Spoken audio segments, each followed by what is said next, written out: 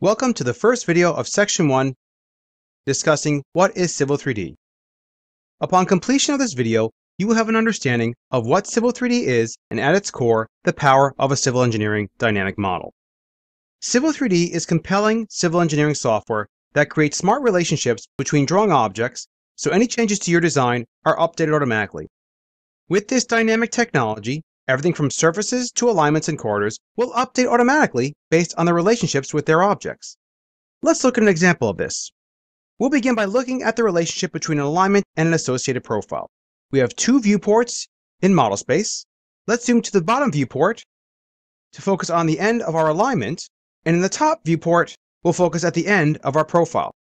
Notice that when we select the alignment and grip edit it, the profile, the red line as shown here, updates automatically to reflect how the existing ground looks with the updated alignment change. As you would expect, the data for this change can also be found in the labels and tables associated with both the alignment and the profile. Now, because we have an existing corridor object in this file, and it is linked to the alignment and the profile, Civil 3D is notifying us that this corridor needs to be rebuilt because the Rebuild Automatic option was toggled off. To update the corridor, simply right-click on it and choose Rebuild. Notice how the corridor model updates to reflect the change in the alignment. Let's look at another example of this. Let's zoom into a sample cross-section in our drawing. And in the top viewport, let's make a change to the proposed profile. Again, Civil 3D will notify us that the corridor needs to be rebuilt. Right-click and rebuild. And notice how the cross-section view updates automatically, including all the daylight subassemblies as well.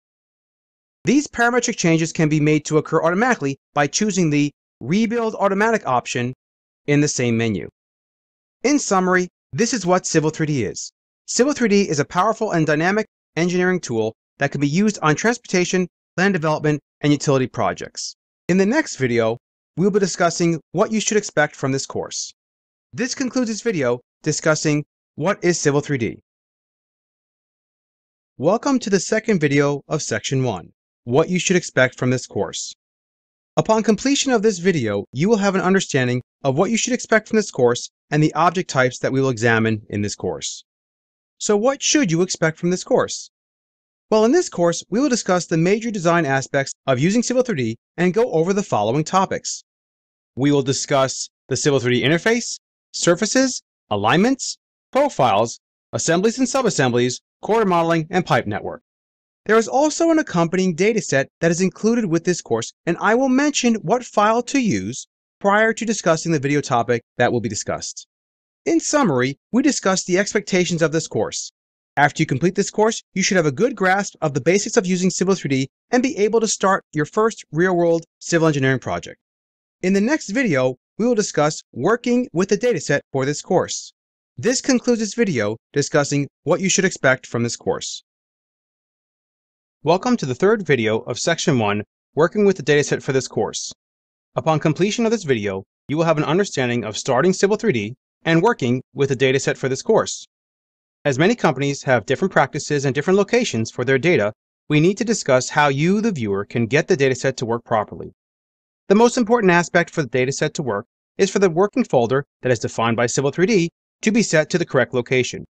By default, this is C colon Civil 3D projects. However, if this file location is not defined properly, the dataset may not work correctly. First, what you need to do is place the dataset folder under the C drive Civil 3D projects folder. Next, let's examine how to start Civil 3D for the dataset to work properly. We will work with the default Civil 3D profile.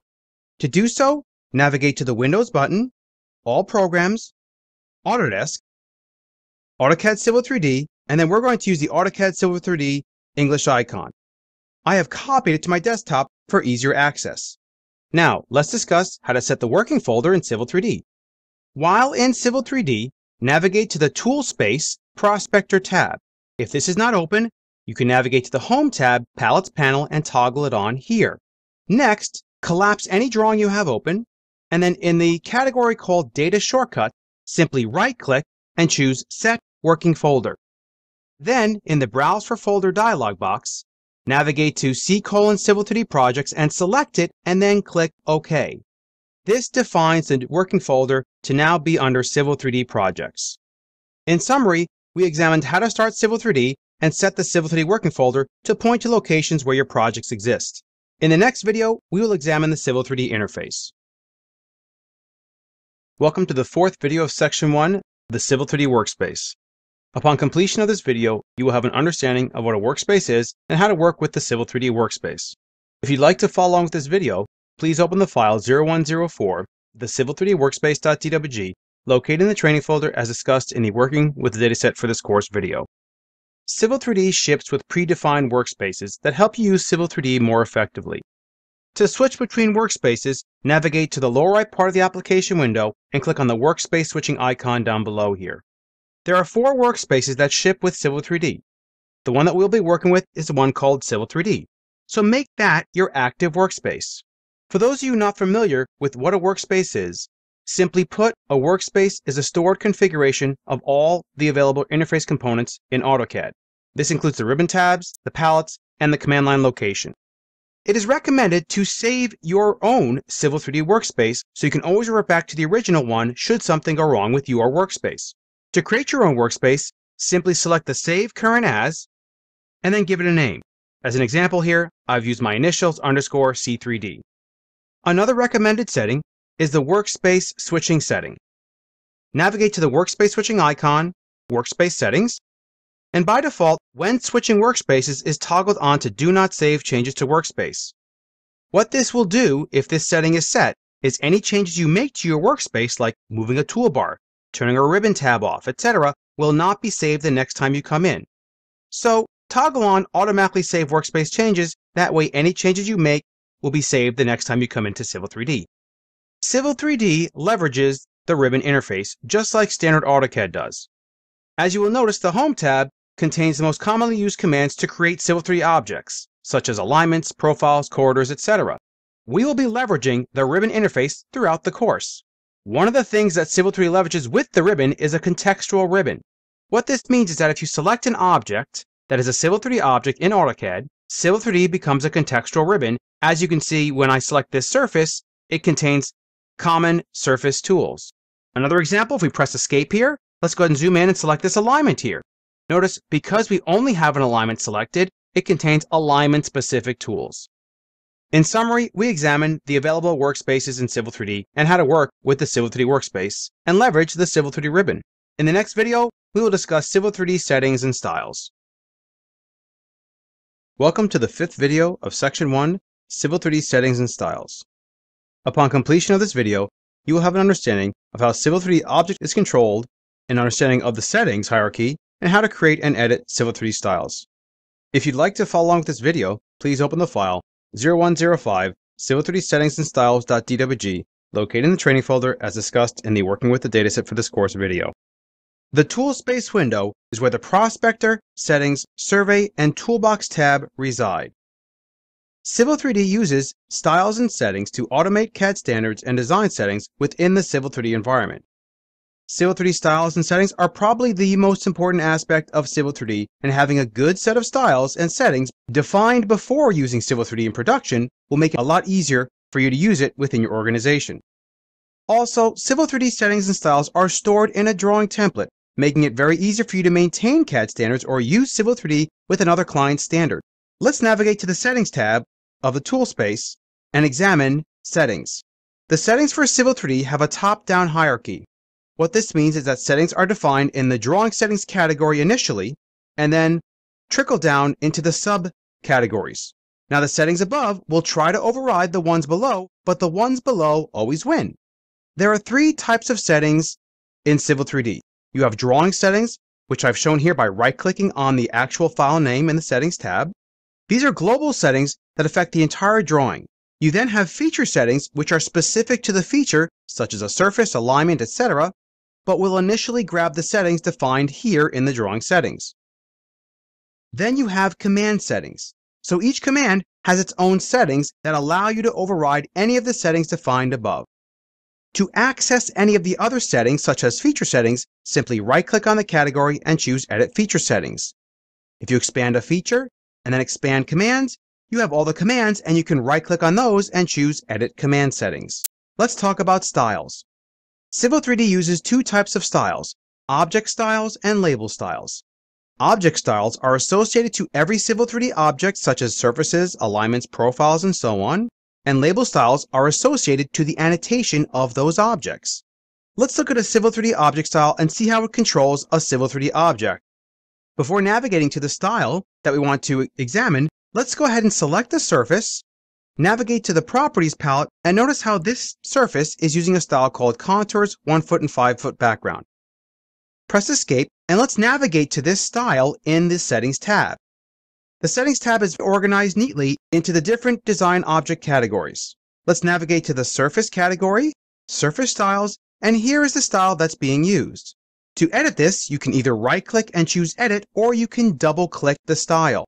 Notice that next to some of the styles, there's a little orange icon. This icon is a linking icon that's telling you that somewhere either in the drawing or through the settings or styles, it's being linked to. Let's go ahead and choose Edit. The Object Surface Style dialog box contains the different tabs available for surface-specific data. Depending on the object style that you are editing, you'll have different tabs. The one tab that is common throughout is the Display tab. The Display tab controls what layer and properties each of the subcomponents of the Civil 3D object will go on. So let's say, for instance, we wanted to turn on the border subcomponent. We'll go ahead and toggle on the light bulb and simply click Apply and notice how the border subcomponent is now turned on and will go on this layer here. We'll go ahead and click OK to dismiss the dialog box. To create a Civil 3D style, there are two ways to do so. Right-click on the collection of styles that you want to create one from and choose New, or you can start out with one by right-clicking on it and choosing Copy. In summary, we discussed how Civil 3D uses settings and styles to control Civil 3D settings as well as the display of the Civil 3D objects. In the next section, we will discuss an overview of surfaces. Welcome to the first video of Section 2 an overview of surfaces. Upon completion of this video, you will have an understanding of what a Civil 3D surface is and how to create a Civil 3D surface. If you'd like to follow along with this video, please open the file 0201 surfacesoverview.dwg located in the training folder as discussed in the Working with the Dataset for this course video. Surfaces are used to represent an area of land on the Earth. They contain three-dimensional geometric data such as points, contours, break lines, and boundaries. Once surface data is added to the surface, the surface will be made up of triangles or grids, which are generated when Civil 3D connects the points that make up the surface data. The Prospector tab is where you manage surfaces that are in your drawing. If you look at the Prospector tab, there is a Surfaces category. If we expand this, you'll notice we have two surfaces here, one called Aerial and one called EG. To create a surface, simply right-click on the Surfaces collection and choose Create Surface. Notice that there are some other options in there as well. If we click on Create Surface, you'll notice that in the Type dropdown, there are four types. You can create a tin surface, a grid surface, a grid volume, or a tin volume surface. The one you'll use the most is definitely the tin surface one. Now the data inside the surface is dynamically linked to whatever data was used to create the surface. If we expand EG and expand definition, notice the different types of data that you can add into the surface. To add any of these specific categories, you simply right-click on it and choose Add from the shortcut menu. You'll notice that in this surface, we have break lines in this surface, as well as a point file that came from the survey data. As mentioned before, what's great about surfaces in Civil 3D is they are dynamically linked to the data that was used to bring them in. For instance, if we go ahead and zoom into this break line here, and I'll go ahead and select it, and this is a 3D polyline, and if I make any kind of changes to this 3D polyline, you'll notice that the triangles and contours update the surface automatically. Now, the reason the surface is updating automatically is that there is an option to rebuild the surface automatically. This setting is located on the surface name, and if you right click, here is the rebuild automatic option. If you do not want this option, you would set it to off, and then when you change an object that is linked to the Civil 3D surface, you'll notice you get an out-of-date icon that appears next to the surface. Simply right-click on it and choose Rebuild, and now the triangles and contours will update automatically. In summary, we examined what Civil 3D surfaces are, how objects dynamically interact with the surface, and how to create a surface. In the next section, we will discuss adding data to a surface. Welcome to the second video of Section 2, Adding Data to a Surface. Upon completion of this video, you will have an understanding of how to add data to a surface and what types of data you can add to a surface. If you'd like to follow along with this video, please open the file 0202 adding data to a surface.dwg located in the training folder as discussed in the Working with the Dataset for this course video. So how do you add data to a surface? First, let's make sure that the Toolspace Prospector tab is open and let's go ahead and navigate in the Prospector tab and create a surface. To do so, simply right-click on Surfaces and choose Create Surface. Verify that tin surface type is set, and we'll go ahead and give this surface a name of EG. We'll go ahead and give it a style of exclamation point tin editing. This style has the triangles, points, and borders displayed so we can see the updates to the surface automatically. Click OK, and click OK. First, let's go ahead and add some break line data. The break lines in our drawing are 3D polylines that came from survey data. When adding surface data, sometimes it's easier to actually make a selection set first. So let's go ahead and do so. I'll simply do a crossing window starting over here, like so. Even though we have blocks in our selection set, it does not matter. Civil 3D will filter them when you add the break lines in. Let's go ahead and expand surfaces, expand EG, and expand the definition category. To add break lines, simply right-click on the break lines category and choose Add. For a description, you don't need to enter anything, but sometimes it makes sense to, to help you later on when you're investigating how you added data. We'll go ahead and just say from survey. And notice the different types of break lines that you can bring into Civil 3D. We're going to use the standard option as these are true 3D break lines. Notice the option to weed out additional vertices that may be contained in the 3D polylines as well as adding vertices based upon possibly short distances within your break lines. We'll go ahead and simply click OK. And as you can see, our surface is created. Now, let's look at adding some point data to the surface. There are many ways to add point data to your surface. You can use existing Civil 3D points that may have come from survey, or you can import a point file. Importing a point file is a more efficient way, as the points will not actually live in the drawing. Civil 3D will simply reference this point file and any changes made to the point file will notify you that the surface is out of date. That said, be sure to check the point file for any bogus points that may be at elevation 0 or the infamous 999 or negative 999 elevations. Let's go ahead and right-click on point files and choose Add. Click the plus sign to add a file. Note that in here you can actually add multiple files. Let's go ahead and navigate to our dataset location and change our files of type to CSV. Select the Random Points from Survey and click Open. Now what you need to do is you need to match the point file format. In this case, it's PNEZD. Point number, northing, easting, elevation, raw description. Let's go ahead and click OK. And as you can see, the point file is now being referenced into this surface. And of course, we can zoom in to verify that with all the triangles. Now, let's look at an area of our project that was flown and we are provided contour data. A named view has been provided for you to easily restore the layer snapshot and the location. Click on the View tab, Views panel, and click on Contours Only. And here are the contours we're going to add to the surface. We're going to do so in a different way. Let's go ahead and first create a brand new surface, and in a future video, we will discuss editing surfaces by pasting them together. Let's go ahead and create a brand new surface. Right click on surfaces and choose create surface. We'll go ahead and give this a name of Aerial and change your style to 2 and 10 background and go ahead and click OK. Now let's expand Aerial and expand definition and right click on the contours category and choose add. If you'd like to give it a description for future interrogation of the surface, you could say from Aerial survey.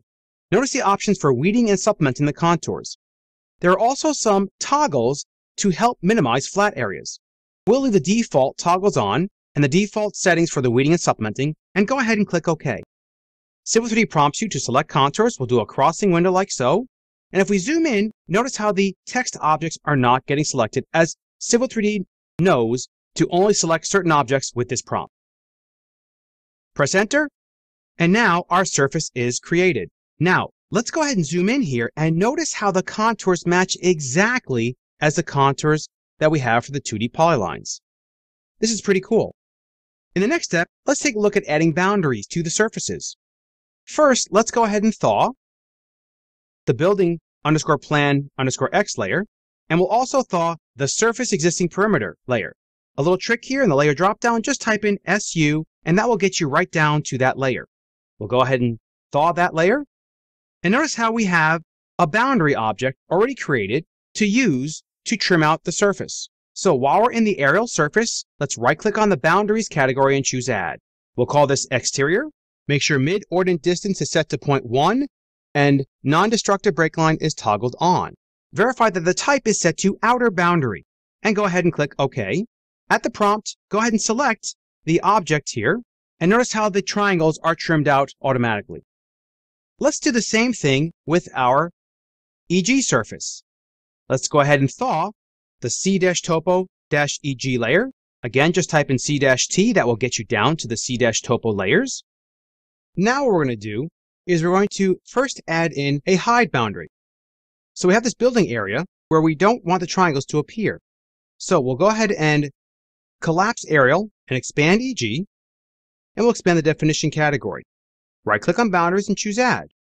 This will be a BLDG pad for a description, and this will be a hide boundary. Again, toggle on non-destructive, 0.10, click OK, and go ahead and select the building pad polyline and press enter. Notice how the triangles disappear, as this is a hide boundary. In other words, any triangles that are within this area should not display. Finally, let's go ahead and add an exterior boundary for the EG surface. We'll go ahead and right click on boundaries and choose add. We'll call this one exterior as well. This should be an outer, non-destructive, 0.1, and click OK.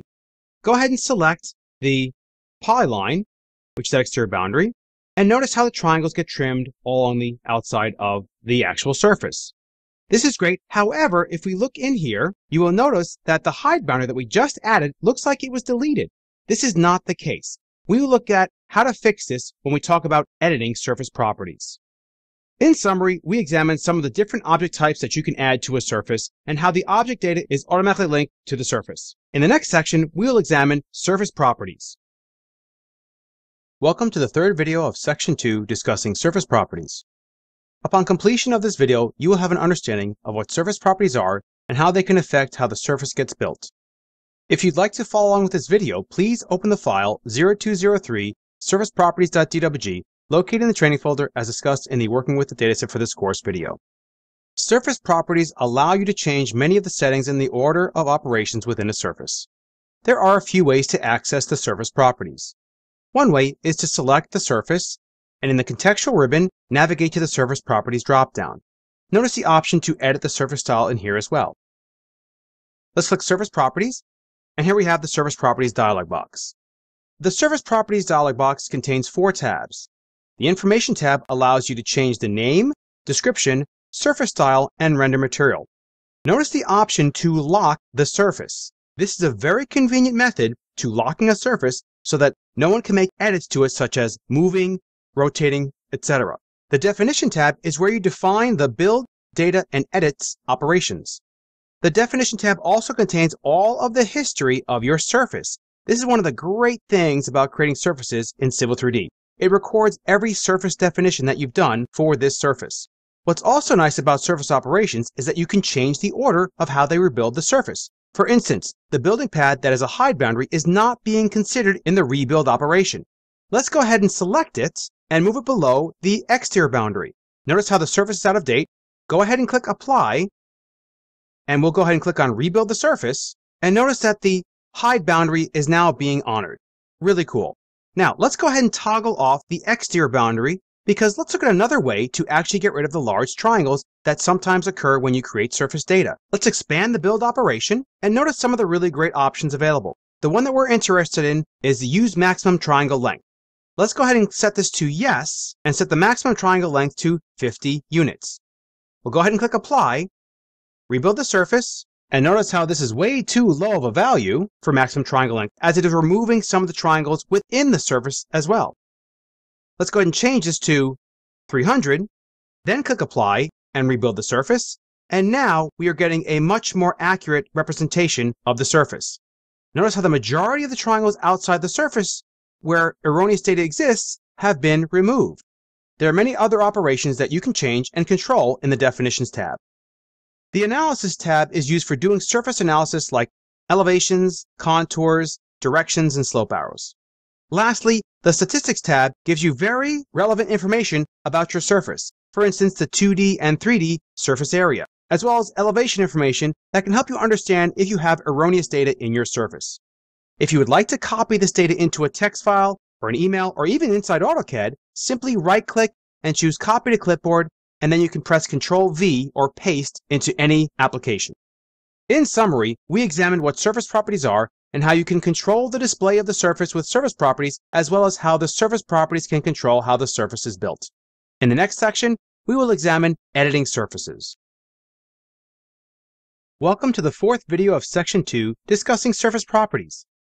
Upon completion of this video, you will have an understanding of what surface edits are available if you'd like to follow along with this video, please open the file 0204 editingsurfaces.dwg located in the training folder as discussed in the Working with the Dataset for this course video.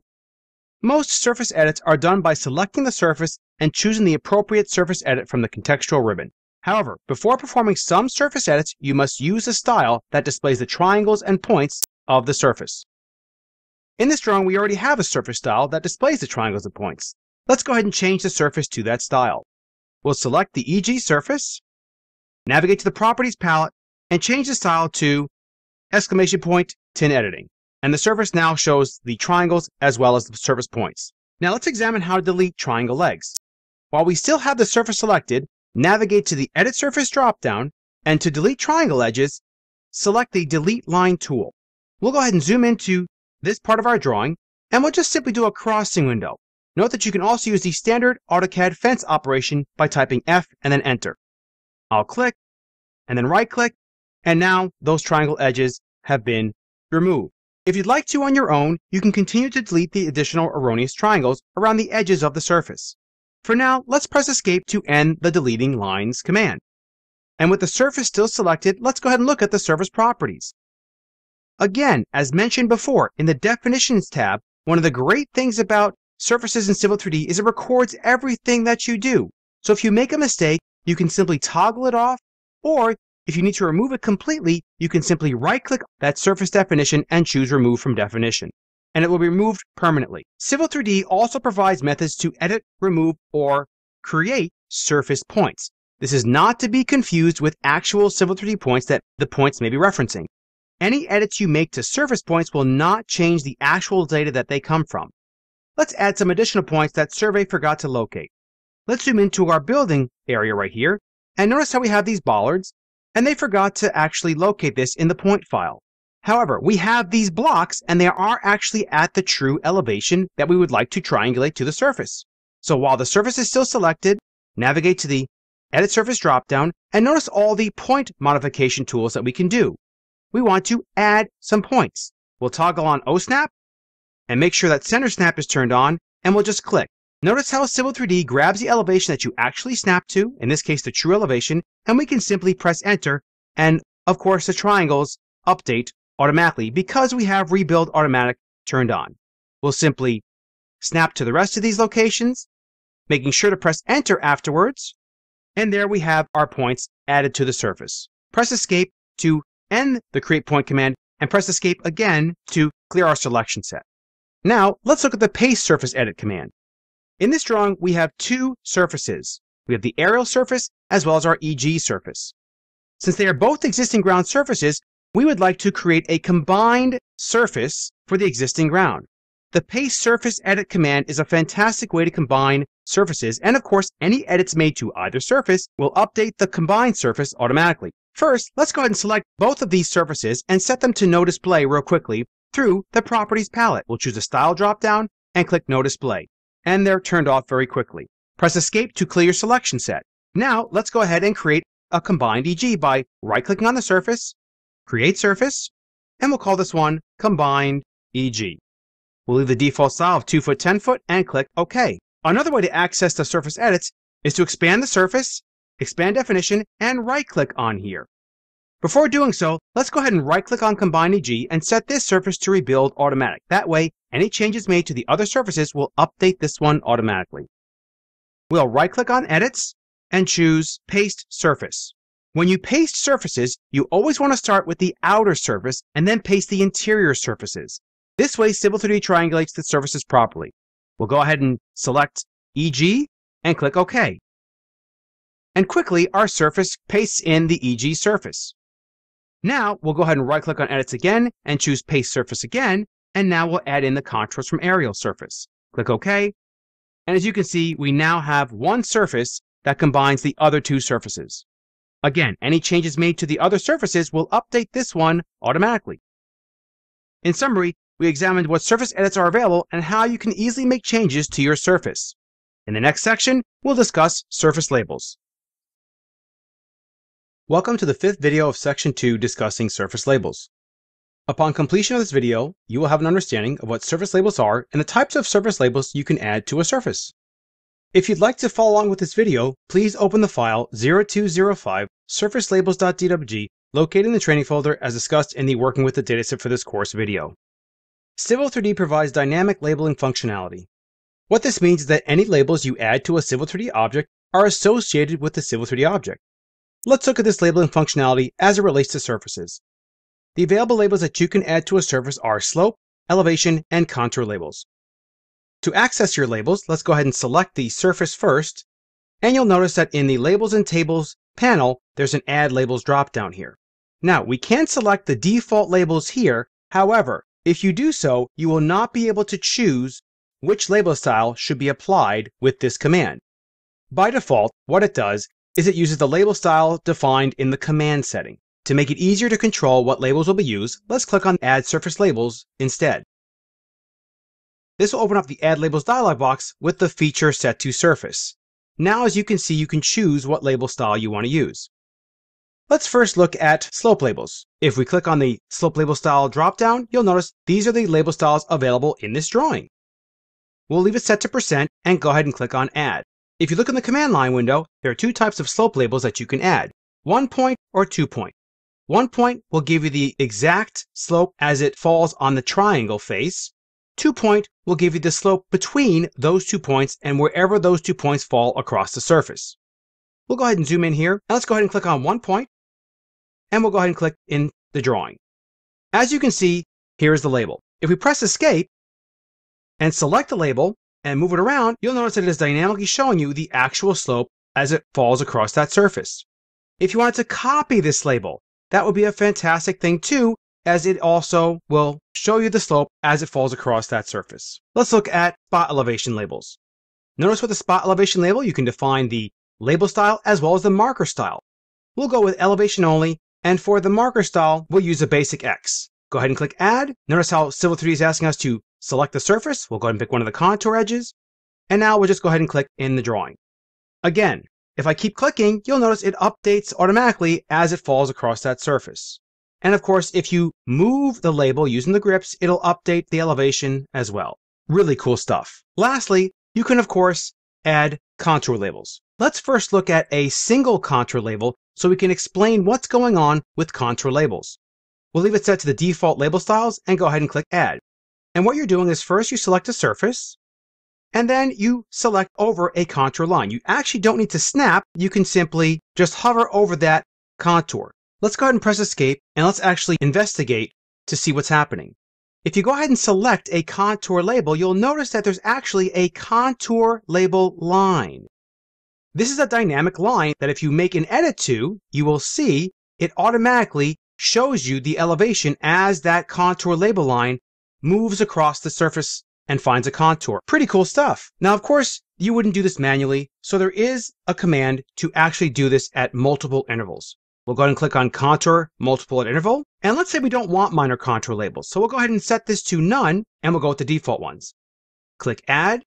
Look at the command line window. It's asking us to select a surface. It says pick the first point. So you want to start somewhere at the beginning of your surface because you're going to define intervals to place small little contour label lines. We'll just go ahead and click this way over here and it says enter the interval along the contour. Let's go ahead and type in 200 and press enter and you will see it will create contour label lines at every 200 foot location. You'll even notice that it does it across the minor contours as well, and so on. To make any kind of edits to these contour label lines, or to change which contours they display on, select one, right-click and choose Select Similar. Notice how every contour label line gets selected in the file and you can navigate to the Properties palette and change any of the properties for those specific contour label lines. In summary, we examined what surface labels are and the types of surface labels available. In the next section, we will discuss an overview of alignments. Welcome to the first video of Section 3, discussing an overview of alignments. Upon completion of this video, you will have an understanding of what Civil 3D alignments are, how to create alignments, and the settings and styles that control alignment creation. If you'd like to follow along with this video, please open the file 0301 alignmentoverview.dwg located in the training folder as discussed in the Working with the Dataset for this course video. Alignments are used in almost every civil engineering project that help you lay out roads, bike trails, and even railways. Any design that will need to follow a linear type fashion will start out as a horizontal alignment. Civil 3D provides many ways to create horizontal alignments. You can create alignments from scratch using the layout tools or from standard AutoCAD objects like lines, arcs, and polylines. The alignment creation tools are located in the Home tab, Create Design panel, Alignment dropdown. As you can see here, there are many methods to creating alignments. Alignments are stored in the Prospector tab in the Alignments category. If you notice here, there are different categories for the different types of alignments that you may need in a project. Alignments, as with everything in Civil 3D, have settings and styles that you need to be aware of before creating them. The settings and styles are located in the Settings tab under the Alignment category. As you can see, we have subcategories for the alignment styles, which control exactly how and where the subcomponents of an alignment will display.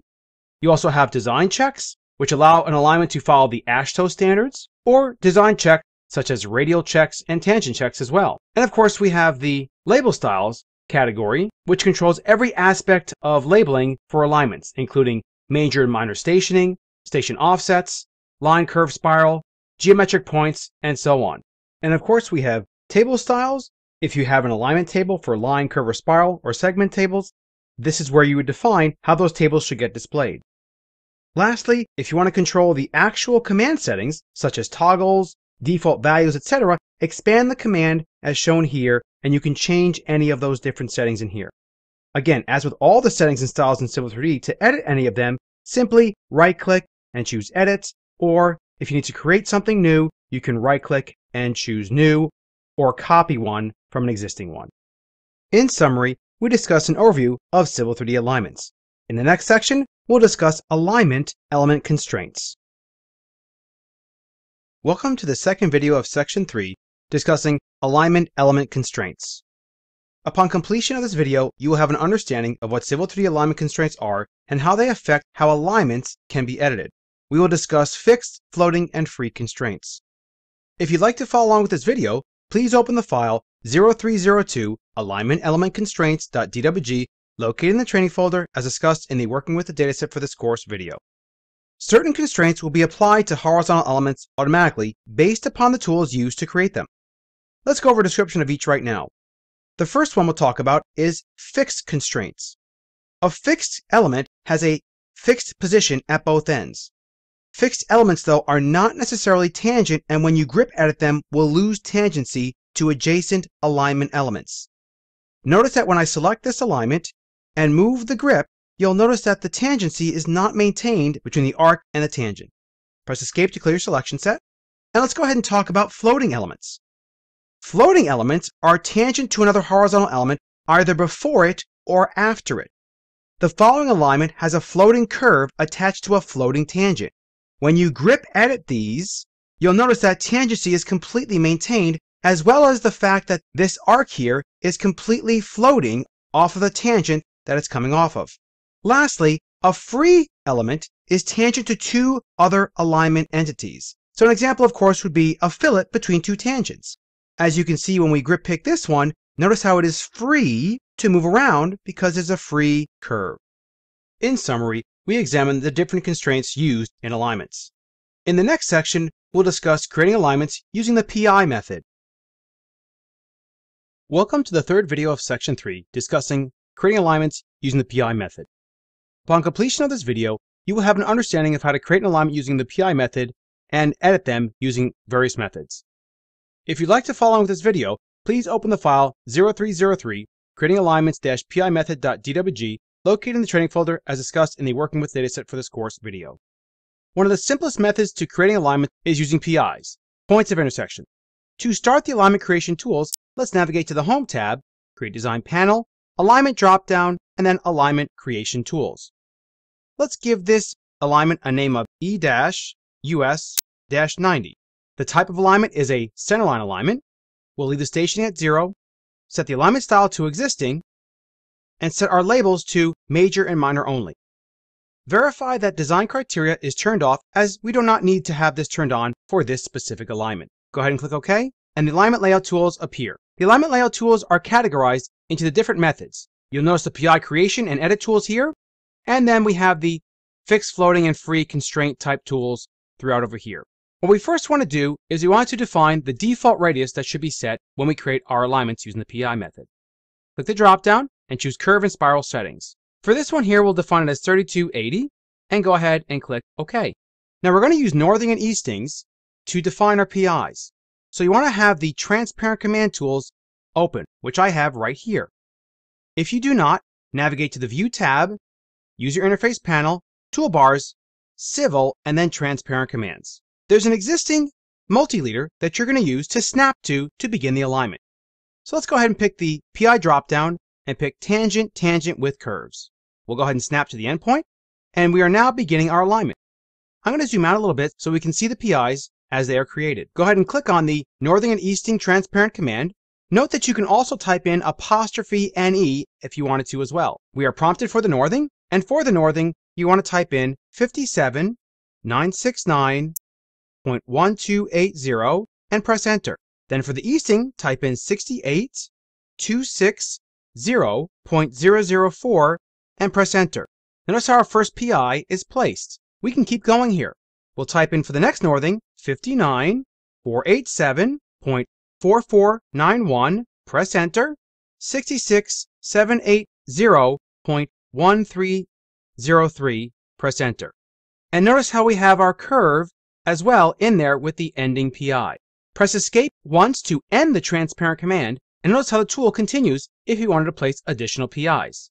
We are done. Simply press escape once, and now your alignment is created along with all the stationing. To make any edits to this alignment, you can simply select it and notice the grips that appear. So based upon how we created this alignment, we get a PI grip, we get radial grips that allow us to redefine the radius, and so on. With the alignment layout tool still selected, there's also a method to actually edit your alignment using a grid view. In the alignment layout tools, navigate to the Alignment Grid View tool, and in the panorama window, you'll notice that you can edit any of the different settings that you use to create the alignment. If you want to change the radius, you can simply type in a value here, press enter, and it'll automatically update the alignment. Don't forget, because you're in AutoCAD, you can always do an undo, and that actually undoes the operation, in fact editing the actual alignment object.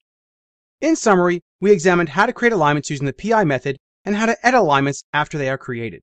In the next section, we will discuss creating alignments using fixed floating and free methods. Welcome to the fourth video of section 3, discussing creating alignments using fixed floating and free methods.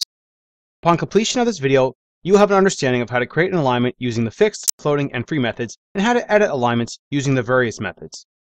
If you'd like to follow with this video, please open the file 0304 creating alignments-fixed, floating, and free methods.dwg located in the training folder as discussed in the Working with Dataset for this course video.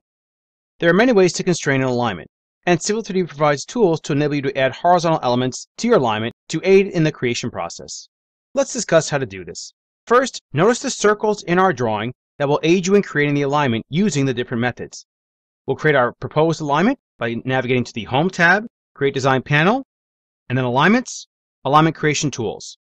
Change your name to P-US-90, set your style to proposed. Make sure you have alignment label set to all labels. And again, we're not going to use design criteria, but if you wanted to, you could toggle this on and notice the different options available here using the AASHTO methods or design check sets. We'll go ahead and toggle it off. For this alignment, we want to start at 100 plus 00, and we'll go ahead and click OK. Let's first choose the fixed line method. Notice the line dropdown contains fixed, floating, and free tools. We'll pick fixed line, We'll go ahead and snap to the existing alignment as that's where we want to start. And we'll go ahead and snap to the center of this circle. Press enter, and there is our first tangent. Now what we want to do is we want to create a floating curve that comes off of this. We'll go ahead and go to the curve dropdown and notice how it's categorized into fixed, floating, and free curve tools. The one that we want is floating curve from entity end radius length. So click on more floating curves, entity end radius length. Again, when you don't know what to do, look to the command line window. Select entity to attach to. We'll go ahead and pick the horizontal element. And what we want to do is we want this one to be clockwise. As far as the radius goes, the radius for this curve should be 1500. Press enter. Notice the options available to define the curve length. We'll go ahead and type it in, but you have these additional options. It's 1356.27 and press enter. And now we have that floating curve. Press enter again to end that command and notice how the stationing continues on. Now what we want to do is we want to define a floating line from the end of this curve. So we'll go ahead and navigate to the line dropdown and we'll select floating line from curve end length. We'll go ahead and pick the curve and to specify the length, we'll simply snap from here all the way to there. Notice how it automatically grabs that value. Press enter and again the stationing is continuing. Now let's go ahead and draw a line from the center of these two circles. We'll click the line dropdown, fixed line, and make sure you go in this order. It does actually matter if you went the other way, it would not station at all. Press enter. Notice how the tangent does not contain any stationing because this is a non-connected alignment. Now, all we have to do is simply do a free curve fillet between two entities radius. Again, look at the command line window. We'll pick the first entity, which is the alignment, and then the second entity, which is the other tangent here. In this case, it's less than 180. Just press enter. And the radius that we want is 2300. Press enter, and then enter again. And now notice how the stationing has updated automatically because it is a connected alignment. Now, let's go ahead and create a side order alignment that will connect to our mainline alignment. For this one, we'll go ahead and choose the alignment dropdown, alignment creation tools, and we'll call this one P-SR-10. Keep the defaults, go ahead and click OK. And for this one, all we have to do is simply click on the fixed line tool, which is already there, snap to the center, and then we'll do a shift right click to access the OSNAP overrides, and we'll choose perpendicular. And all we have to do is simply hover over the line, snap, and then press enter, and there is our second alignment. Again, to make any edits, if you go ahead and select your alignment, you'll notice you get specific grips here. Again, based upon the constraints used to create the alignments, you will have the different types of grips here. Notice how tangency is being maintained because this is a floating curve. Don't forget, if you wanted to actually make edits, you could simply select your alignment here and choose Geometry Editor, and then we would simply use the grid view tool and you can make any changes that you want to the values defined in the grid view. In summary, we examined how to create alignments using the fixed, floating, and free methods, and how to edit an alignment after it is created. In the next section, we'll examine alignment properties. Welcome to the fifth video of section 3 discussing alignment properties. Upon completion of this video, you will have an understanding of what alignment properties are available and how they can affect your alignments. If you'd like to follow along with this video, please open the file 0305 alignmentproperties.dwg located in the training folder as discussed in the Working with dataset for this course video. To view the alignment properties, first you select your alignment and in the contextual ribbon, navigate to the Modify panel and then we have the alignment properties. The Information tab is where the style for the alignment is defined, as well as the type of alignment that this alignment should be. The Station Control tab is where you can change the stationing that the alignment should start with, as well as the reference point. So if you actually wanted to find a different location than the actual beginning of the alignment for that beginning of station, you could do so there. You can also add station equations if it is necessary for your design. The Masking tab allows you to mask out any regions that you don't want to see the alignment and station labels. A good example of this, of course, would be a bridge area. It's very simple to add them. You click on the Add Masking Region, you can then simply click in the drawing to define the station to station limits of where your masking should begin. Click Apply, and you'll notice the stationing and the alignment completely disappear. We'll go ahead and remove it as it is not necessary for us to have it in this alignment. The Point of Intersection tab is where you define how when you select the alignment, you want the alignment to change the individual curves and curve groups. The Constraint Editing tab is where you define how, when you edit the alignment, the constraints will control how the alignment gets edited. The Design Criteria tab is where you will define any kind of design criteria should your project require any. let's toggle on Use Criteria Based Design, and we'll go ahead and add design speeds in a minute. Note that you can define a design criteria file. By default, it goes here. But if you click the Browse button, you can navigate to any design criteria file that you may need. These design criteria files can come from agencies, municipalities, and you can even create your own. You also have the option to use design check sets, which exist in the drawing. To add design speeds, you simply click on the Add Design Speed tool. We'll go ahead and just add a few in here. And notice that we can simply click on each of the different fields here to add the different locations of where our alignment changes with different design speeds. Within this tab, you can also tell Civil 3D to check for tangency between elements. If any of the design criteria is not met or there is no tangency between elements, a triangle will appear notifying you that the criteria is not being met and you can then resolve it. In summary, we examined the available alignment properties and how they affect the alignment. In the next section, we will discuss alignment reporting. Welcome to the sixth video of Section 3 discussing alignment reporting. Upon completion of this video, you will have an understanding of the available reporting methods for alignments. If you'd like to follow along with this video, please open the file 0306 alignmentreporting.dwg.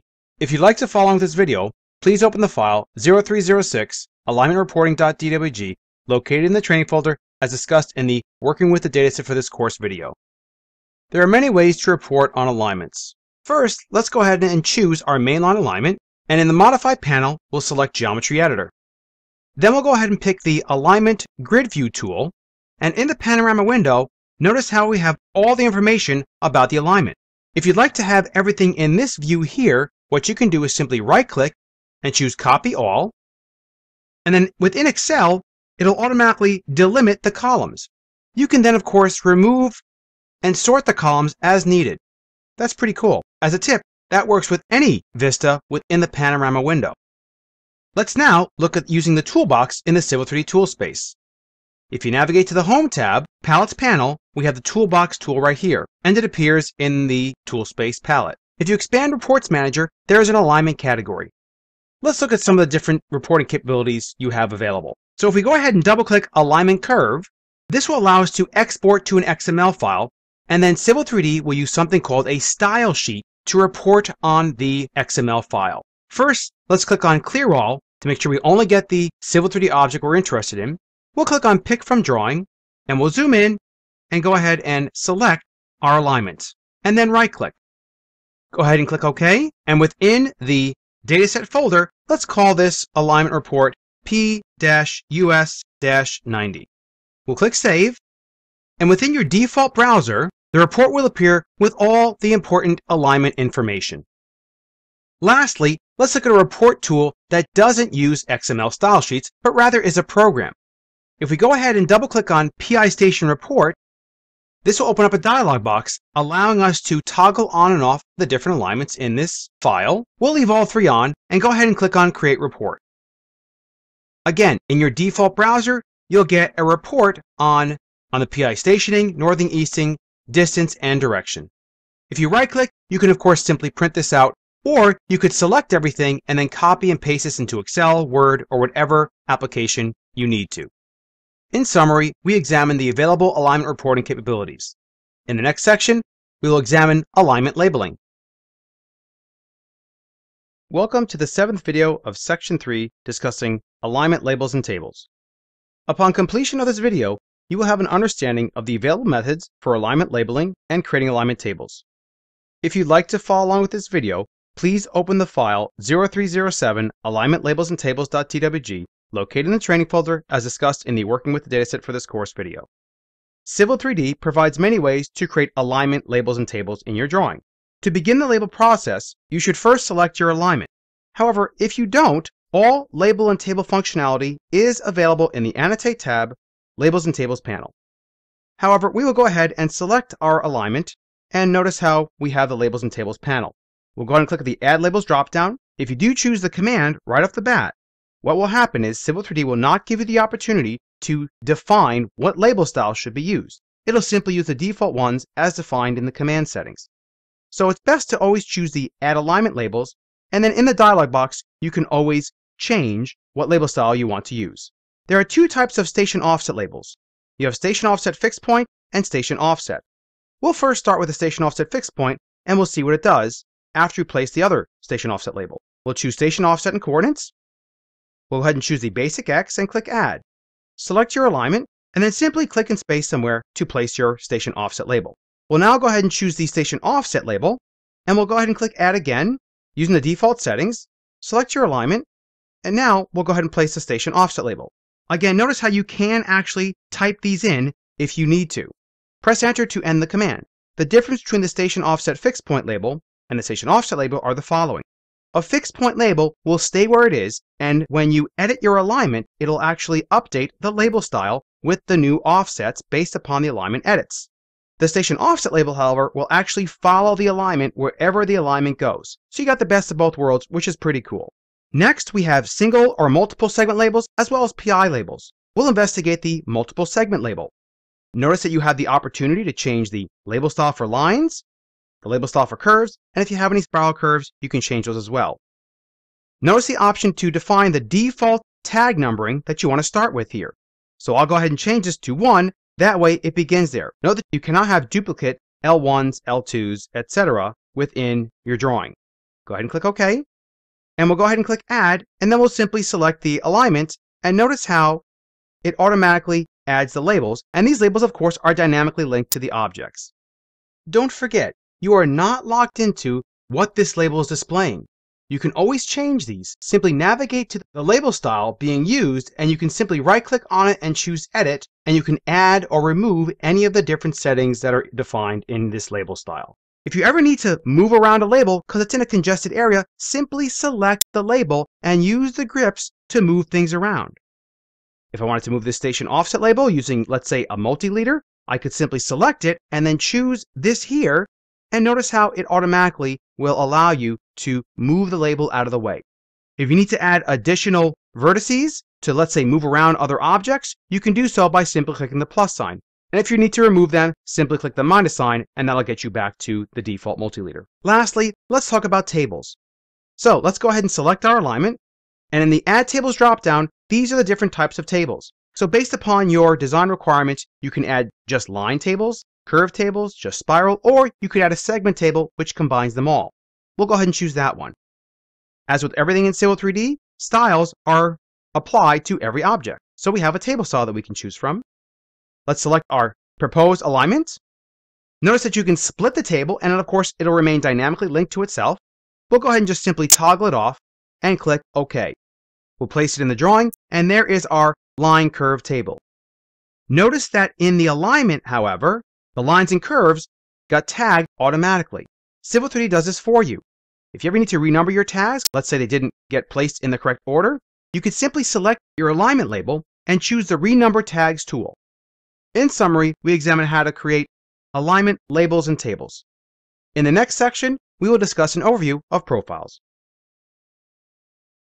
Welcome to the first video of Section 4, discussing an overview of profiles.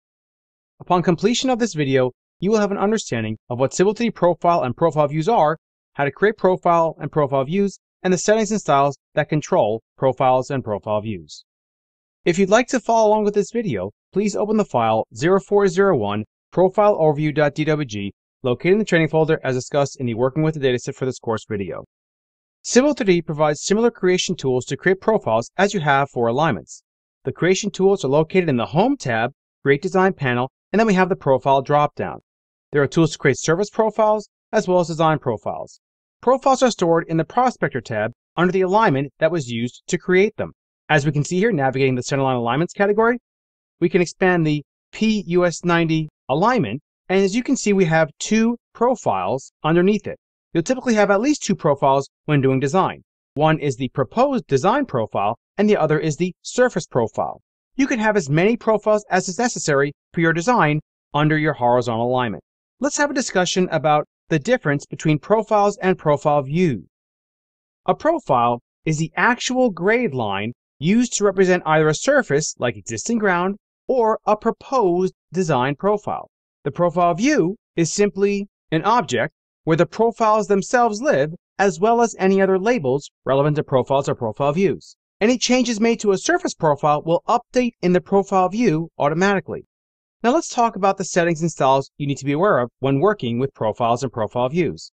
Again, in the Settings tab, we have a Profile and Profile View category. So the profile, if you expand it, will have profile styles, which again govern how the profile itself will look. And then of course you have design checks for proposed profiles, any of the labels necessary to create profile related labels. And then of course we have the profile view, which again is the grid. Let's go and expand the profile view style and let's look at one of these styles. Go ahead and double click no grid and this opens up the profile view style dialog box. As you can see, there are many settings available for the profile view that you will need to set based upon how a profile view should plot at your company. To quickly change a profile view to use a different style, simply select the profile view, navigate to the properties palette, and as you can see, you can very quickly and easily change the style to whatever you want your profile view to look like. In summary, we discuss an overview of profiles and profile views. In the next section, we will discuss creating surface profiles and profile views. Welcome to the second video of section 4 discussing surface profiles and profile views. Upon completion of this video, you will have an understanding of what a surface profile is and how to display them in profile views. If you'd like to follow along with this video, please open the file 0402 Surface Profiles and Profile Views.dwg located in the training folder as discussed in the Working with Dataset for this course video. Creating a surface profile is fairly easy to do in Civil 3D. First, let's zoom in and go ahead and select our alignment. Next, in the Launchpad panel, we'll go ahead and click on Surface Profile. In the Create Profile from Surface dialog box, let's go ahead and select Combined EG and click Add. Let's also point out that you can actually create sample offsets as well, which are dynamically linked at the offset you define here. If you wanted to go left of the alignment, you would type a negative number. And of course, positive would give you a right side offset. In the profile list, if you scroll to the right, you can change the style that this profile is using. In this case, we're okay because it is an existing ground profile, as well as the layer. You can change these afterwards if you'd like to. Notice how the Draw and Profile View button appeared because probably what you want to do is draw this profile in a profile view. Go ahead and click on Draw and Profile View, and the Create Profile View dialog box is simply a wizard. Notice the different settings that you can change here. Let's verify that our Profile View style is set to No Grid. If you click Next, it'll take you through the different stages of creating a profile view, whether or not you want to define a specific station range, a specific elevation minimum and maximum. Here you can change the same thing we just did in the surface profile creation process. Any data bands for existing and proposed elevations, we'll talk about these later on. And if you had any hatching that you wanted to see between two different surfaces, you could do that as well. For now, let's click Create Profile View, and somewhere to the right, go ahead and just place your profile view. Let's select the profile and navigate to the Profile Properties tool in the Modify Profile panel. Note that you can change the style right here. You can view the data. And if this profile did need to use design criteria, you could toggle it on or off here. Let's go ahead and click Cancel and press Escape. Now again, because this is a profile that reads a surface, any changes that are made to the alignment or the surface will update the profile automatically. Let's go ahead and change our views to see two viewports in horizontal. We use the viewport control to do so, and let's go ahead and set our view to the beginning of the profile. We'll go ahead and zoom into the beginning of our alignment and let's go ahead and change the alignment and notice that the profile will automatically adjust as you move it along the surface. Control Z and that will undo that and update the profile as well. Really cool. Let's maximize this viewport by double clicking this icon there. Let's talk about selecting and deleting the different objects. Remember, if you select the actual profile and delete it, it actually deletes the existing ground surface profile. If you delete the profile view, however, it doesn't delete the profile, just the profile view is deleted. So just be aware of that's how Civil 3D treats the objects. Lastly, if you do need to move your profile around for let's say plotting purposes or just in general, what you do is select the profile view and simply pick the blue grip that appears and then move it where you want to and notice how the profile itself comes along with it. In summary, we discussed surface profiles and profile views. In the next section, we will examine design profiles. Welcome to the third video of section 4 discussing design profiles. Upon completion of this video, you will have an understanding of how to create design profiles and examine and update the profile view. If you'd like to follow along with this video, please open the file 0403 designprofiles.dwg located in the training folder as discussed in the Working with the Dataset for this course video. Civil 3D provides profile creation tools very similar to the alignment layout tools. Let's go ahead and create a design profile for this alignment. We'll zoom into our profile view and select it. In the Launchpad panel, we'll click on Profile Creation Tools. For the name of the profile, we'll go ahead and give it an underscore P-US-90. The reason for the underscore is that when we go to create the corridor model, this profile will be at the top of the list. We'll set the style to Layout, we'll use the Complete Label Set, and if this profile did need to use criteria-based design, you would simply toggle this off and then define which K-table you need to use based on your design specifications. You can also use design check sets, which are stored in the drawing. We'll toggle off criteria-based design. Click OK, and notice how the profile layout tools are very similar to the alignment layout tools. You have PVI methods, you have fixed, floating, and free tangents, and you have fixed, floating, and free curves. Very similar to the alignment layout tools, if you needed to define a default curve, you could click on Curve Settings and then set it here. We'll define our curves afterwards. For this profile, we need to use the transparent commands. Verify that they are up. Don't forget to add them in. Simply navigate to the View tab, User Interface panel, Toolbars, and then Civil and Transparent commands. The first thing that we want to do is we want our design profile to start on the existing grade of the existing ground at a specific station value. We'll go ahead and define our PVIs and then add our curves in later. We'll click on Draw Tangents. At the Specify Start Point prompt, navigate to the Profile Station and Elevation from Plan Transparent command. Again, as I always say, when you don't know what to do, look to the command line window. It says Select a Profile View. So we'll go ahead and click our Profile View. And now it says Select a Surface. So in the Plan View, we'll go ahead and select the border of the existing ground. Notice how the jig comes up, asking us to define a station. Our station value needs to be set to 170. So 100 plus 70 and press enter. Although you don't notice it, Civil 3D has placed a point at that elevation at that station in the profile view. If you needed to get some more elevations from this surface, you could simply keep clicking and it would automatically grab those elevations. Since we're done, press escape once. That puts us back into the place PVI command. Now what we want to do is we want to define our next PVI based upon a station and grade. If you look over here, you'll notice in the transparent commands, the transparent commands that we're interested in for this is profile grade station. Go ahead and select it, and it says specify grade. Civil 3D already knows what point we're at. We now need to define a grade. For this grade, we want negative 1 and then press enter. Notice how Civil 3D shows the grade line. For this PVI, we would like it to be at 110.70. So 110 and then 70 and press enter. Notice how you can keep going. So what we want to do is pan across a little bit here. We'll type in negative 0.25 for the grade. And for this PVI, it should be at 128 plus 00. Press enter. As you can see, our profile is starting to take shape here. At the specified grade prompt, type in 0.65 for a positive grade value and press enter. The station we want here is 14550 and press enter. Notice how it puts it right at the end of our project.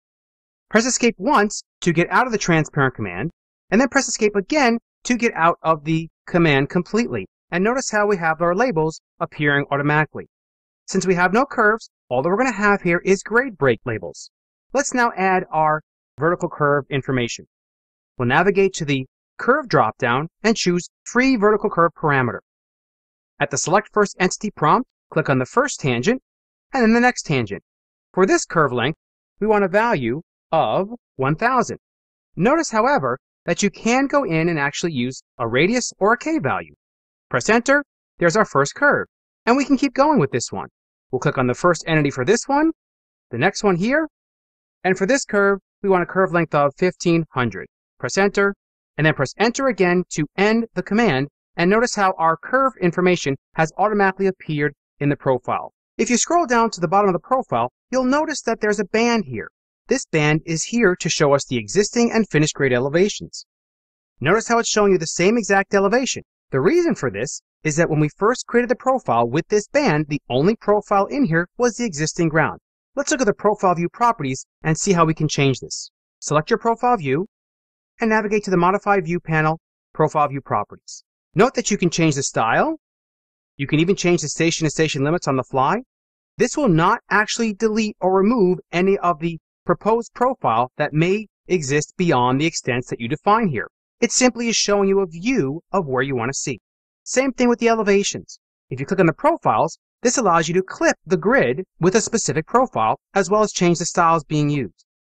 The tab we're interested in is the Bands tab. If you scroll to the right, you'll notice a column for Profile 1 and Profile 2. We want to change Profile 2 to now look at the elevations for the proposed profile. Go ahead and click OK. As you can see, it now updates automatically and will of course dynamically update based upon changes that you make to either the existing or the proposed profile. Really cool stuff. In summary, we discussed creating design profiles and looking at profile view properties. In the next section, we'll discuss editing profiles. Welcome to the fourth video of section 4, discussing editing profiles. Upon completion of this video, you will have an understanding of what tools are available to edit your profiles. If you'd like to follow along with this video, please open the file 0404 editingprofiles.dwg located in the training folder as discussed in the Working with the Dataset for this course video. Civil 3D provides many tools to edit your profiles once you've created them. First, let's look at grip editing. We'll go ahead and zoom into our mainline profile and select the profile. Notice that Civil 3D provides grips for the grade in, the grade out, as well as a tool to modify the entire PVI. And if you want to grip edit the actual vertical curve length, you could do so as well. Press Escape once to stop any grip editing. With the profile still selected, navigate to the Geometry Editor tool, and then go ahead and click on the Profile Grid View tool. Let's zoom out a bit. Notice that in the panorama window, if you select a PVI or curve, it'll highlight in the actual drawing as well, notifying you of which one you are actually editing. You can change the station or elevation here, the grade in, the grade out. You can even change your vertical curve length if you wanted to, Let's go ahead and change this one to 1200, press enter, and notice how it updates in the profile view automatically, including all the labels. There are many additional tools for editing profiles as well. For instance, if you wanted to add a PVI, you would click on the Insert PVI tool right here, just simply click on the drawing, press enter, and then you could add your vertical curve length. There's also the Delete PVI tool as well, and you simply click near one, PVI, press enter, and it's now deleted. There's also some really cool tools to copy a profile, as well as a tool to raise or lower the entire profile itself. In summary, we discussed the available profile editing tools. In the next section, we will discuss profile and profile view labeling. Welcome to the fifth video of section 4 discussing profile and profile view labeling. Upon completion of this video, you will have an understanding of what tools are available to edit and create profile and profile view labels. If you'd like to follow along with this video, please open the file 0405 profile and profile view labeling.dwg located in the training folder as discussed in the Working with a Dataset for this course video. There are many profile and profile view labeling tools to better communicate your design. First, let's go ahead and select this grade break label and notice the grips that appear we can grip pick it and notice how it pulls it out into a nice leader. Now let's say, however, the text being displayed here, which is the default label that says grade break station, let's say we actually wanted to say something like begin the name of the alignment, and then add the station and elevation. You can override the default label text. Let's go ahead and click on Edit Label Text, and we'll select the profile label. It's asking us to pick the component to edit. In this case, we want the PVI start. Click OK. Now let's go ahead and delete the text that says grade break. So this is the text component editor, and this is simply a text editor window. We'll go ahead and type in begin space and add in the actual alignment name. And don't forget to click the arrow. And let's say we want this on its line by itself. We'll press enter. Now let's go ahead and click OK. And as you can see, you can override that label. Just so you know, this is standard functionality of Civil 3D labels. All labels can be edited in this manner. Let's press escape and let's go ahead and select our proposed profile. Let's say we wanted to actually add the horizontal alignment points onto this profile, like the PC or the PT. Let's go ahead and click on Edit Profile Labels.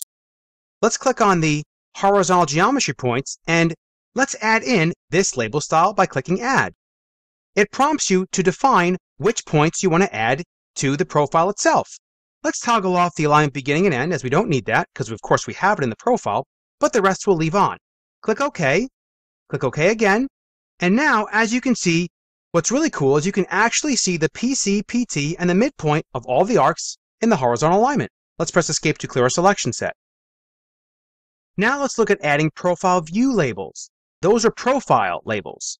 Go ahead and select the profile view, and in the Add View Labels, we'll pick on Station Elevation. Notice you're prompted to specify a station. So let's say, for whatever reason, we wanted to see a specific station elevation. Let's go ahead and snap to our existing ground, and we'll go ahead and snap again to that same exact point. And there's our station elevation. If I press Escape, you can actually pull this out, just like any of the other labels, and if you actually copy it, you can snap to the endpoint there.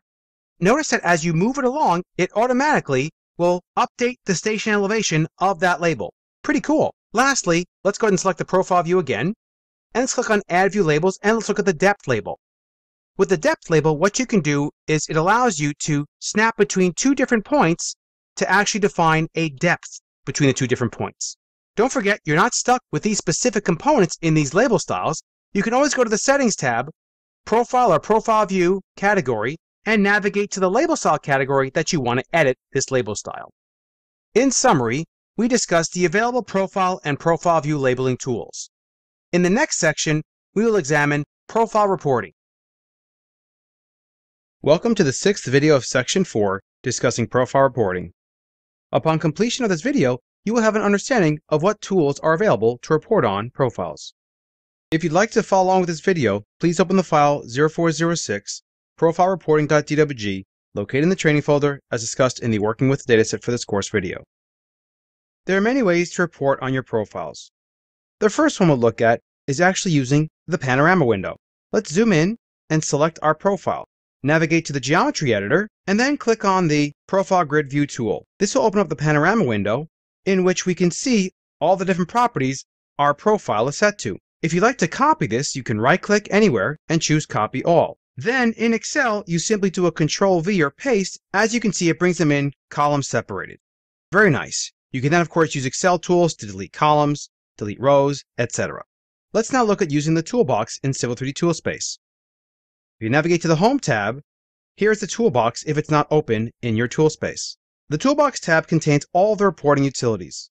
If you expand Profile, you'll see that there are two ways that you can report on profiles. You can report on profiles using style sheets, which is using LandXML data, or there are tools that actually are programs that will report on your profile. Let's go ahead and look at one of the style sheet reports by double clicking the PVI station report. What you want to do here is click on the pick from drawing, and this way you don't get everything that's in the list there. We'll click our design profile and then right click, and that's the only object that will get saved as an XML file. Click OK, and navigate to your dataset folder and call this one P-US-90 parentheses vert for vertical alignment. We'll go ahead and click save. This will save out that HTML file as LandXML file, and then a style sheet is used to report on it to give you the PVI station elevation and grade in and out, as well as the curve lengths. Lastly, let's look at a report that does not use XML. We'll go ahead and double click on the Incremental Station Elevation Difference tool. What this tool does, and it's pretty cool, is it'll take a design profile and then an existing one and show you the existing slash finished grade elevations in a nice tabular type way. We'll go ahead and define our station interval to 20 and then click on create report. If you get this error, just simply click yes to continue and you automatically get a nice report that shows you the station easting and northing of the elevational difference between the two different profiles. You can then, of course, copy all this data into an Excel spreadsheet or simply print it out. In summary, we discussed the available profile reporting tools. In the next section, we will discuss assemblies and subassemblies. Welcome to the first video of Section 5, discussing an overview of assemblies and subassemblies. Upon completion of this video, you will have an understanding of what assembly and subassemblies are and the settings and properties behind them. If you'd like to follow along with this video, please open the file 0501 assembly and subassembly overview.dwg located in the training folder as discussed in the Working with the Dataset for this course video. So what are our assemblies and subassemblies? An assembly is a placeholder for your subassemblies. Let's select the assembly and notice how if I move this along here, all the subassemblies move with it. So what then are subassemblies? Think of subassemblies as building blocks of your corridor model. They are Lego pieces that when put together form your corridor model. To create assemblies, you simply navigate to the Create Design panel, the Home tab, and the Assembly dropdown. Subassemblies, however, you will use your tool palettes to add subassemblies to your assembly. Assemblies and subassemblies live in the Prospector tab in the Assemblies category, and then you navigate the assembly, and you'll notice here you can even navigate right directly to the subassemblies. What's really cool is that if you right click on the assembly, you can actually remove it from model space if you don't want it to display. It'll still live in your drawing, it just won't display in model space. Regarding the settings and styles that control assembly and subassembly display, let's navigate to the Settings tab. If you scroll down, you'll notice that there are some styles for assembly and subassembly components. However, the assembly style is pretty basic as far as how the marker and the line should get displayed. The subassembly, you'll notice, only has command settings. This is because there is a different style that controls how subassemblies will get displayed. The style that is used to control subassembly display is under the General category, Multi-Purpose Styles, and then we have something called Code Set Styles. Before we delve into this style, let's talk about subassemblies and the different components that make them up. There are three components to a subassembly, point codes, shape codes, and link codes. Knowing this will help you decipher the codes that are controlling the subassembly display. Let's go ahead and select this subassembly and let's talk about the codes involved. Firstly, the circular components you see here are the point codes. Those codes will be used to connect the dots in drawing your feature lines eventually that will be created from your corridor model. The link code is actually each link code along this subassembly. This would be the top of surface, might be your asphalt bottom or subgrade, and so on. And lastly, the shape code is the actual shape, which would be the volume of the shape that is inside the subassembly. Let's go ahead and double click the All Codes code set style. As you can see, the code set style is categorized into the three different types of codes, allowing you to control any of the different codes that may be inside your subassembly. If we expand these, each of the different columns will map to the code defined here. As far as getting the name of this code, in a future video, we'll examine where you can find out the names used in a specific assembly, whether it's with the point, link, or shape code. You'll notice these additional columns which tell it how to display as far as the style, and each code will have other columns for the labeling, any kind of render material for visualization, as well as for hatching in plan view. Now let's look at the different properties that you can change with regards to assemblies and subassemblies. If you select a subassembly, your first go-to interface to make changes to it will be the Properties palette. As you can see down below here, you can change pretty much any of the parameters defined here. If you select the Assembly and navigate to the Assembly Properties, this is a good spot to see what codes are being used within this assembly. However, there are some additional properties that can only be changed in the Assembly Properties dialog box. For instance, a very powerful parameter is if you select a subassembly, you'll notice that there's this parameter reference which allows you to call up the slope from another link within this subassembly. In summary, we discussed how to create assemblies and subassemblies and the settings and styles behind them. In the next section, we will discuss creating assemblies for your corridor model. Welcome to the second video of Section 5, creating assemblies for corridor modeling. Upon completion of this video, you will have an understanding of how to create assemblies and subassemblies. If you'd like to follow along with this video, please open the file 0502 creating assemblies for corridor modeling.dwg located in the training folder as discussed in the working with the dataset for this course video. To create an assembly, navigate to the Create Design panel, Assembly dropdown, and choose the Create Assembly tool. In the Create Assembly dialog box, Let's give this assembly a name of two lane with curb. Leave the assembly type set to other, but let's click on it and notice the options available. This dropdown is used in conjunction when you define super elevation for your alignment and must match the setting in the super elevation wizard. We'll leave it set to other for now. We'll leave the assembly style set to basic, code set style of all codes, and go ahead and click OK. Notice how we have a separate area in our drawing for our assemblies making it easier to find them in the future. We'll click in space, and here is our assembly. Now let's look at how you add subassemblies. As mentioned before, you add subassemblies by accessing them from the tool palettes. Before we place any, let's look at how you can access the help should you have any questions on what a specific subassembly does. To access the help, simply right-click on the subassembly and choose Help. The Civil 3D Help provides an extensive help file for each subassembly, letting you know everything about that subassembly, including, if you scroll down to the bottom, all the codes that will be used by this subassembly. Before placing the subassemblies, it's always a good idea to have your properties palette docked somewhere in the AutoCAD window. This will make it easier to change properties for your subassemblies as you are placing the subassemblies. Let's navigate to the tool palettes and find the Lanes tab, and let's click on Lane Super Elevation AOR, which stands for Axis of Rotation. As soon as you click the tool, Navigate to the Properties palette and notice the properties and parameters that you can change for this subassembly. Notice that you can change the widths, you can change each of the different depths for the different materials, and so on. We'll go with the defaults on the right side and click on the actual assembly itself to place our first subassembly. You are now prompted to give the subassembly a name. By default, this setting is turned off. However, we have turned this setting on in the Settings tab, Subassembly category, and in the Create Subassembly command. One of the things that is very important to do when you create subassemblies is to name them properly. This will help you when you eventually define targeting when you do your corridor modeling. Let's go ahead and call this one RT underscore LANE for right lane. And go ahead and click OK. Now let's navigate to the tool palettes and find the Curbs tab, and we'll click on Urban Curb Gutter General. Again, notice the parameters that you can change for any of the different dimensions in this curb. Now for this one here, let's go ahead and change our subbase extension to 0.5 and press enter.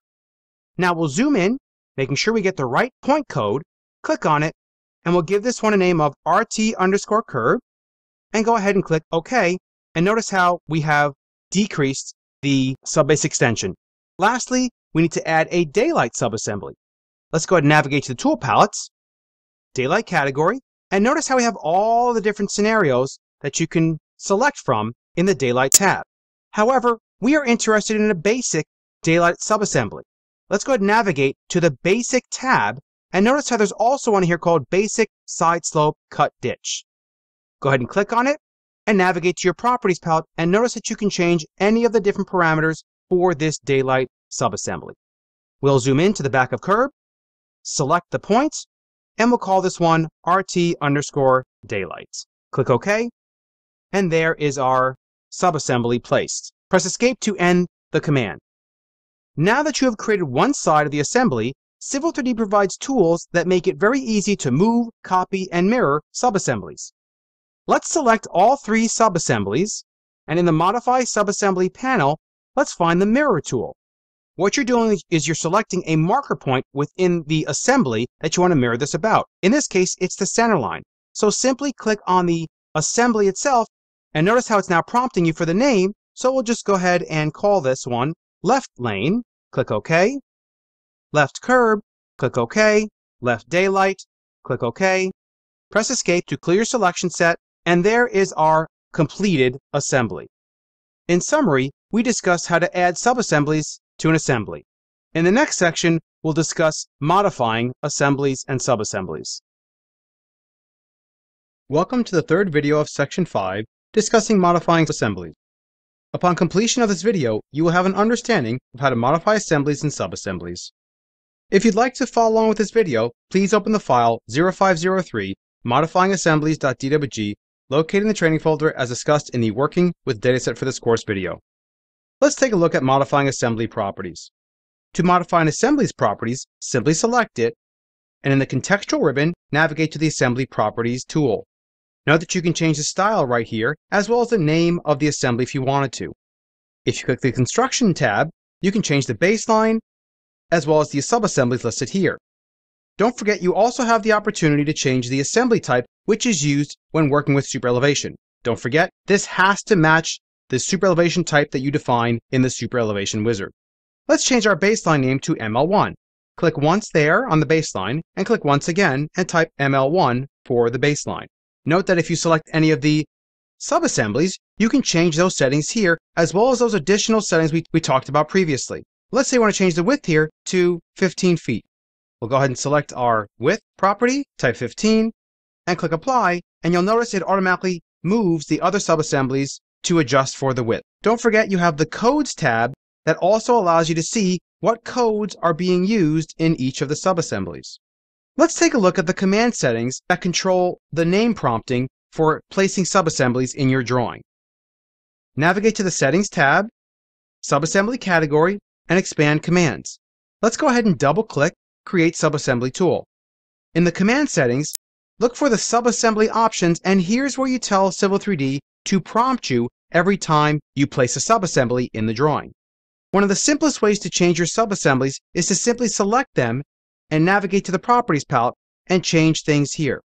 Let's go ahead and change the width back to 12 feet and press Enter and it'll adjust the subassembly for you automatically. Note that you also will change parameters such as how you want the outside point code to act with regard to super elevation, and so on. You can also navigate to the subassembly properties, and this will tell you specifically which codes this specific subassembly is using. In summary, we examined how to modify assembly and subassembly properties. In the next section, we'll discuss how to copy an assembly to a tool palette. Welcome to the fourth video of Section 5 discussing copying assemblies to a tool palette. Upon completion of this video, you will have an understanding of how to copy an assembly to a tool palette. If you'd like to follow along with this video, please open the file 0504 copying assemblies to a tool palette.dwg located in the training folder as discussed in the working with the dataset for this course video. First, let's discuss what tool palettes are. Think of tool palettes as your one-stop shop for all the commands and standards that you may use. By default, the tool palette is docked to the right side of your application window and auto hide is turned on. With Civil 3D loaded, the tool palettes will contain only the subassemblies. However, you can customize these to your heart's content to contain tools that you use on a daily basis. If you do not have the tool palettes open, navigate to the View tab, Palettes panel, and then we have the tool palettes right there. You can also press Ctrl 3 as a shortcut. Let's turn Auto Hide on to keep the tool palettes available for us to see. The way you interact with anything in the tool palettes is to simply right click. And depending on where you are within the tool palette interface, you'll get a different shortcut menu. For instance, if you right click up here, you'll get the menu to customize palettes and toggle on to a specific group. You can also create new palettes here as well. If you right click inside a tool or on a tool, you will get a different menu to either copy a tool, rename it, or specify an image. Let's navigate to the Assemblies tab so we can copy our assembly from this drawing into the tool palette for future use in, let's say, another project. To copy an assembly, simply select the assembly in the drawing. Then do not pick one of the grips, but pick one of the graphics to drag it onto the actual tool palette and let go. You'll notice that two lane with curb gets copied onto the assembly. So what is actually going on in the background? I would say there's no magic when it comes to things that happen in AutoCAD or Civil 3D. There's always some sort of setting or parameter that you just simply need to find out. So what happens in the background is Civil 3D is literally copying that assembly into a brand new DWG file with all the settings and styles necessary to reproduce that assembly into another file. As you can see here, here is a totally separate DWG file called two-lane with curb.dwg. It puts it into program data, Autodesk, the version of Civil 3D you're in, ENU, and then the Assemblies subfolder. In summary, we examined how to copy an assembly to a tool palette. In the next section, we'll discuss an overview of corridor modeling. Welcome to the first video of Section 6, discussing an overview of corridors. Upon completion of this video, you will have an understanding of corridor models and their dynamic nature. If you'd like to follow along with this video, please open the file 0601 corridoroverview.dwg located in the training folder as discussed in the Working with the Dataset for this course video. A corridor model is one of the most complex object types in Civil 3D. The corridor takes all the other Civil 3D objects that we just created, such as the alignment, profile, and assemblies, and creates a dynamic corridor model from them. When you create a corridor model, you define the frequency that it should model along with different targeting that may be necessary for your design. As with everything in Civil 3D, the corridor model is truly a dynamic model. Let's look at an example of this.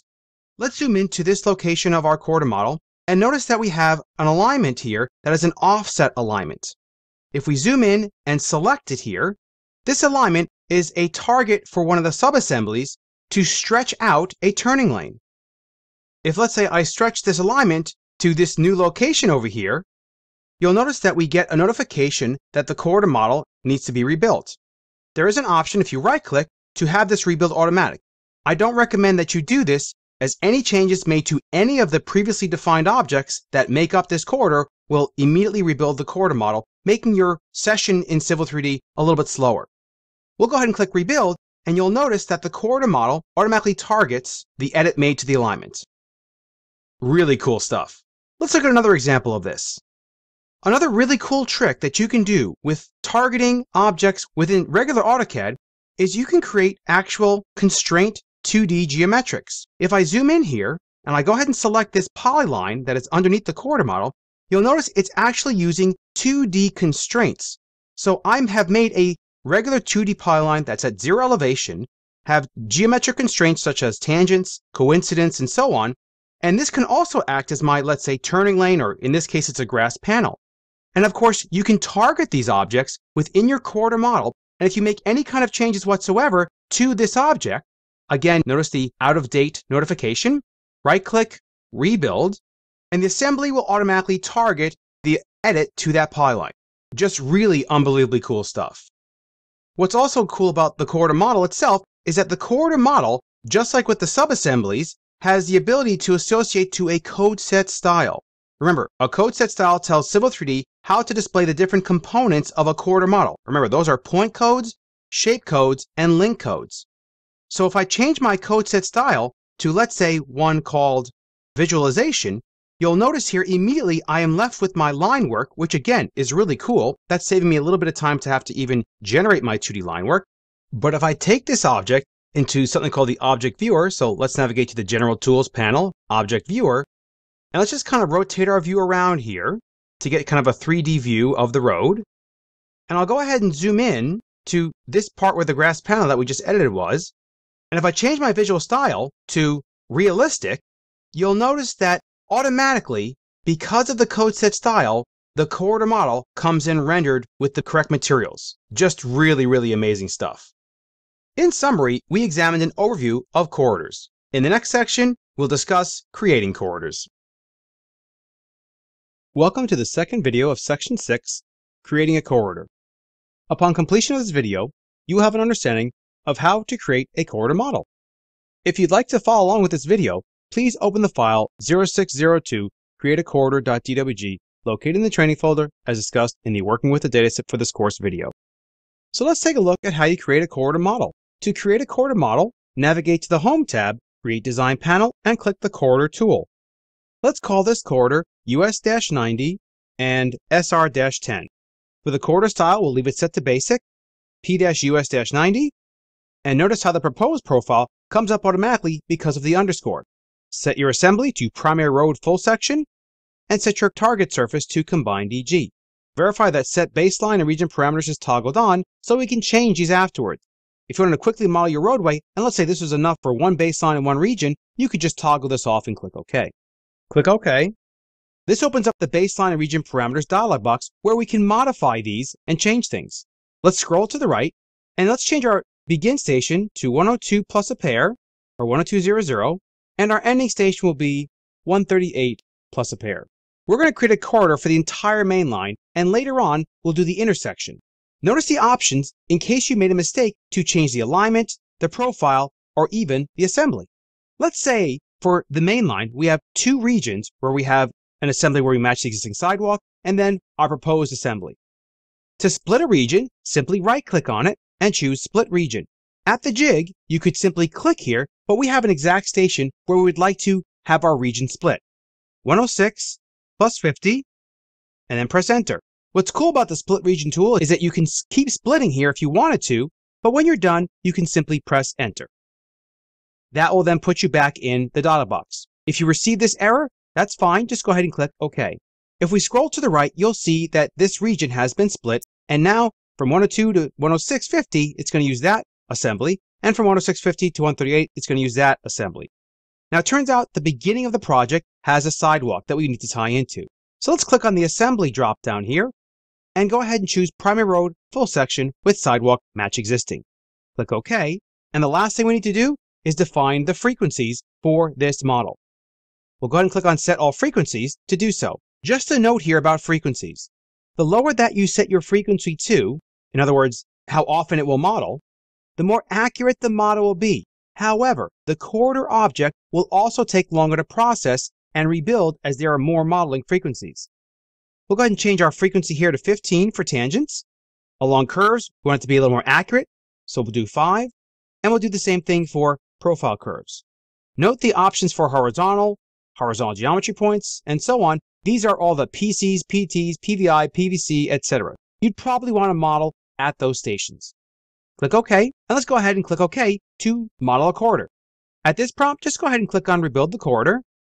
As you can see, our corridor model is complete with the beginning with that assembly, and notice how it ties right back into the other assembly.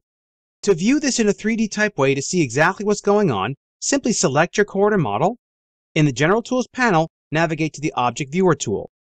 Set your visual style to wireframe, and the Object Viewer has many tools to zoom around, do a zoom extents, zoom in and out. You can also simply click and move your mouse to rotate the view automatically to see your corridor model in 3D. Panning is also the same as it is in AutoCAD, where you simply hold the middle mouse button down. If we zoom in, we can actually see our corridor model and how it generates the different components within the corridor model. So again, we have point codes, which are connecting the lines. We have link codes, which are coming across the roadway perpendicularly. And we have the shape codes, which will eventually get our volumes if we needed to do volume calculations afterwards. In summary, we examined how to create a corridor model. In the next section, we'll discuss target mapping. Welcome to the third video of Section 6, discussing target mapping. Upon completion of this video, you will have an understanding of what target mapping is and how you can use it in a corridor model. If you'd like to follow along with this video, please open the file 0603 targetmapping.dwg located in the training folder as discussed in the Working with Dataset for this course video. So what is target mapping and how can it make it easier for you to model your design? Let's zoom into our corridor model where we would like to target an offset alignment. An offset alignment is an alignment that is dynamically linked to the horizontal alignment. If the horizontal alignment shifts, then the offset alignment will move along with it with whatever tapers and offsets you've defined for it. A good example of an offset alignment is let's say we need to add a truck lane to our design. This is where you would use an offset alignment. Within a corridor model, you can target alignments, polylines, feature lines, profiles, 3D polylines, and so on. Basically, any graphic that you can create, your corridor model can target, as long as the subassembly that you are using allows it to be targeted. In other words, the subassembly is programmed to allow for targeting. The way targeting works is to first select your corridor model, and in the Modify Region panel, you'll notice there's a whole bunch of really cool tools. The one we're interested in is the Edit Targets tool. Notice that as you hover over the regions in your corridor model, they highlight in the drawing letting you know exactly which region you're about to modify. We'll go ahead and modify this region first as this is the region that we're interested in. This is why you should name your subassemblies with a name that makes sense. This makes it very easy to choose which of these width or offset targets I want to select from. The one we're interested in is the one that says right lane. We'll click on the object name field and in the set width or offset target, look at the drop downs we have available to us. We can select alignments, feature lines, survey figures, or polylines. We want alignments, and if you don't know the actual name, you can click on the Pick and Drawing button here, and we'll go ahead and select our offset alignment, and then right-click. It highlights in the field for you, you simply click Add. This lane subassembly will simply target that alignment, and it'll stretch the lane, and whatever slope that lane is set to, whether you have super elevation applied or not, it'll just simply use that slope definition. Click OK and click OK again. The corridor model will rebuild automatically because it now has a target it has to go to. And as you can see, it has automatically targeted that offset alignment. If anything changes with the offset alignment, of course, the corridor will update automatically. Now, let's zoom into the beginning part of our project as we want to target this 2D polyline. We're still in the Edit Target command you can simply click on the region now. And again, you want to name your subassemblies properly so you know which one to pick from in here. In this case, we want to target the inside boulevard of the right side. So here's the inside boulevard width of the right sidewalk subassembly. We'll go ahead and click on here. In this case, it's a 2D polyline, so we'll change the category and we'll click on Select from Drawing. Now we'll pick our 2D polyline, right click, it'll automatically add that polyline as a target. What's great about this functionality is you can select a whole mess of polylines depending on what you may have for targeting. The corridor model will automatically pick up wherever those polylines begin and end and stretch the subassemblies to those polylines you choose there. That's really cool. We'll go ahead and click OK. Click OK again. The corridor model will rebuild. As you can see, we are done with our targeting. Press Escape, and there is your completed corridor model with the subassemblies targeting those objects. In summary, we examined how to use target mapping on a corridor model. In the next section, we'll discuss corridor properties. Welcome to the fourth video of section 6 discussing corridor properties. Upon completion of this video, you will have an understanding of corridor properties and how they control the corridor model. If you'd like to follow along with this video, please open the file 0604 corridorproperties.dwg located in the training folder as discussed in the Working with the Dataset for this course video. Let's take a look at corridor properties. The corridor properties dialog box allows you to control all aspects of the corridor model. To access the corridor properties, simply select the corridor model. In the Modify Corridor panel, click on Corridor Properties. The Corridor Properties dialog box contains seven tabs. The Information tab is pretty simple. You can just change the name as well as the style, which simply controls how regions will appear in your plan and model view. The Parameters tab is where you can change the frequency of modeling, targeting, regions, alignments, or assemblies that the corridor model is using. Basically, this is the guts of the corridor. If we look at the Codes tab, however, the Codes tab actually tells you A, what code set style this corridor model is using, in other words, how the point linkage shape codes should display, and if they should display. It also shows you all the codes being used within those subassemblies. Let's change our code set style to a visualization one because we're interested in getting ready to planimetric graphics. You can simply create a code set style that will turn off all the different components you don't want to display. If I click apply here, we'll go ahead and rebuild the corridor. You'll notice that in the plan view, the links and points and shapes are completely gone and now all we have to do is figure out which feature lines we want to display within our corridor model. That's what the next tab is for. The Feature Lines tab is where you can control this. When Civil 3D creates the corridor, it uses the point codes to connect the dots, and it creates feature lines in the process. When you're ready to plot your plans, you can use this tab to turn on and off the display of the feature lines that you do and do not want to plot. Note that these columns are completely sortable. I'm going to sort them by the code. You can also select multiple feature lines, turning on and off multiple feature lines at once. I'll click the top one here and then holding the shift key down, click down to the bottom. I'll click in the corridor feature line style and I'll set my style to no display. This is a style that is created for you in the drawing. If you click OK, now if you click apply, you'll notice that every single feature line disappears. Now what you want to do is now you would turn on the feature lines that you want to and give them the style that would go on the correct layer so you could control them using standard AutoCAD layer functionality. So I want to toggle on the top back curb and the back curb. I'll select those two, and those should have the same exact style. So we'll pick corridor curb line and click OK.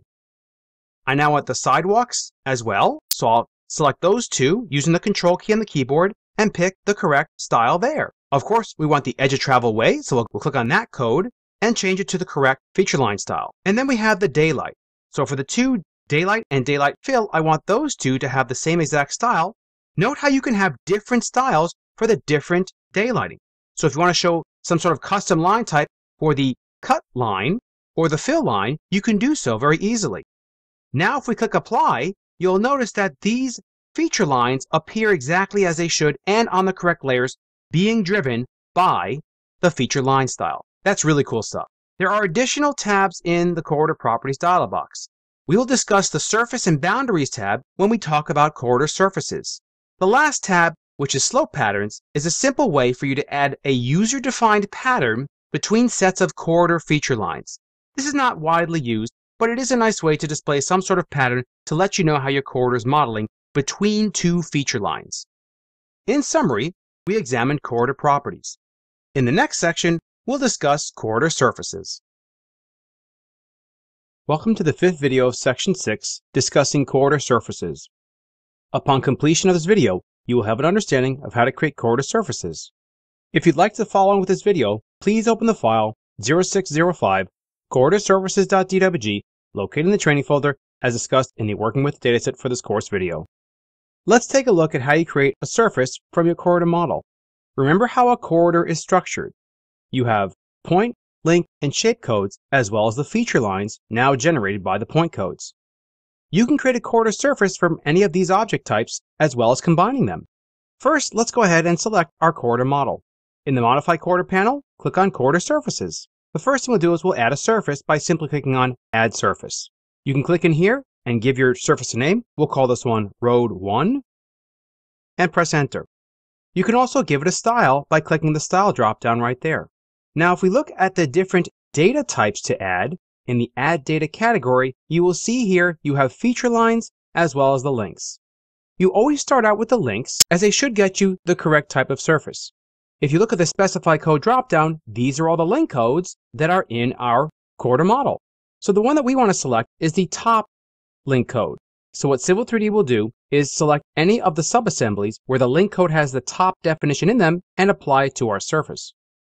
Click on the plus sign, you now have that link code added to the corridor surface. Sometimes, if your corridor model is not triangulating properly, you can toggle on Add as Breakline, and that will actually add the link codes as break lines and will help in triangulation. There's also a column called Overhang Correction. In this case, since this is all the top links, you want to make sure that Civil 3D selects all the top parts of the corridor model. So we'll click on Top Links. As mentioned before, sometimes when you generate the surface, it does not triangulate properly especially around curves or intersections. So it is very helpful to add in the feature lines as well as they will tighten up the triangulation. You can also get erroneous triangulation if you add in the wrong feature line, so be careful with this. If you click on the feature lines dropdown, these are all the feature lines that are in the corridor model. So we'll go ahead and add in back of curb and click the plus sign. Click the dropdown again and maybe add in the top of curb to add better triangulation around the curve area. We'll also add in the flowline underscore gutter Click Add, again, just helping to tighten up the triangulation as it goes around curves and in general. Before we click OK, you want to click the Boundaries tab. You want to add a boundary so you don't get any erroneous triangles around wide areas where the triangulation will automatically be connected. Right click on the corridor surface and let's simply choose corridor extent as outer boundary. Note there are some additional options to create a boundary interactively or automatically using the feature lines defined here. Click OK rebuild the corridor, press escape, and if we zoom in, you'll notice we're getting some contours already. We'll go ahead and select our surface, take it into the object viewer to view the surface in 3D. Again, if you want to change this to shaded or wireframe or realistic, you can do so right there.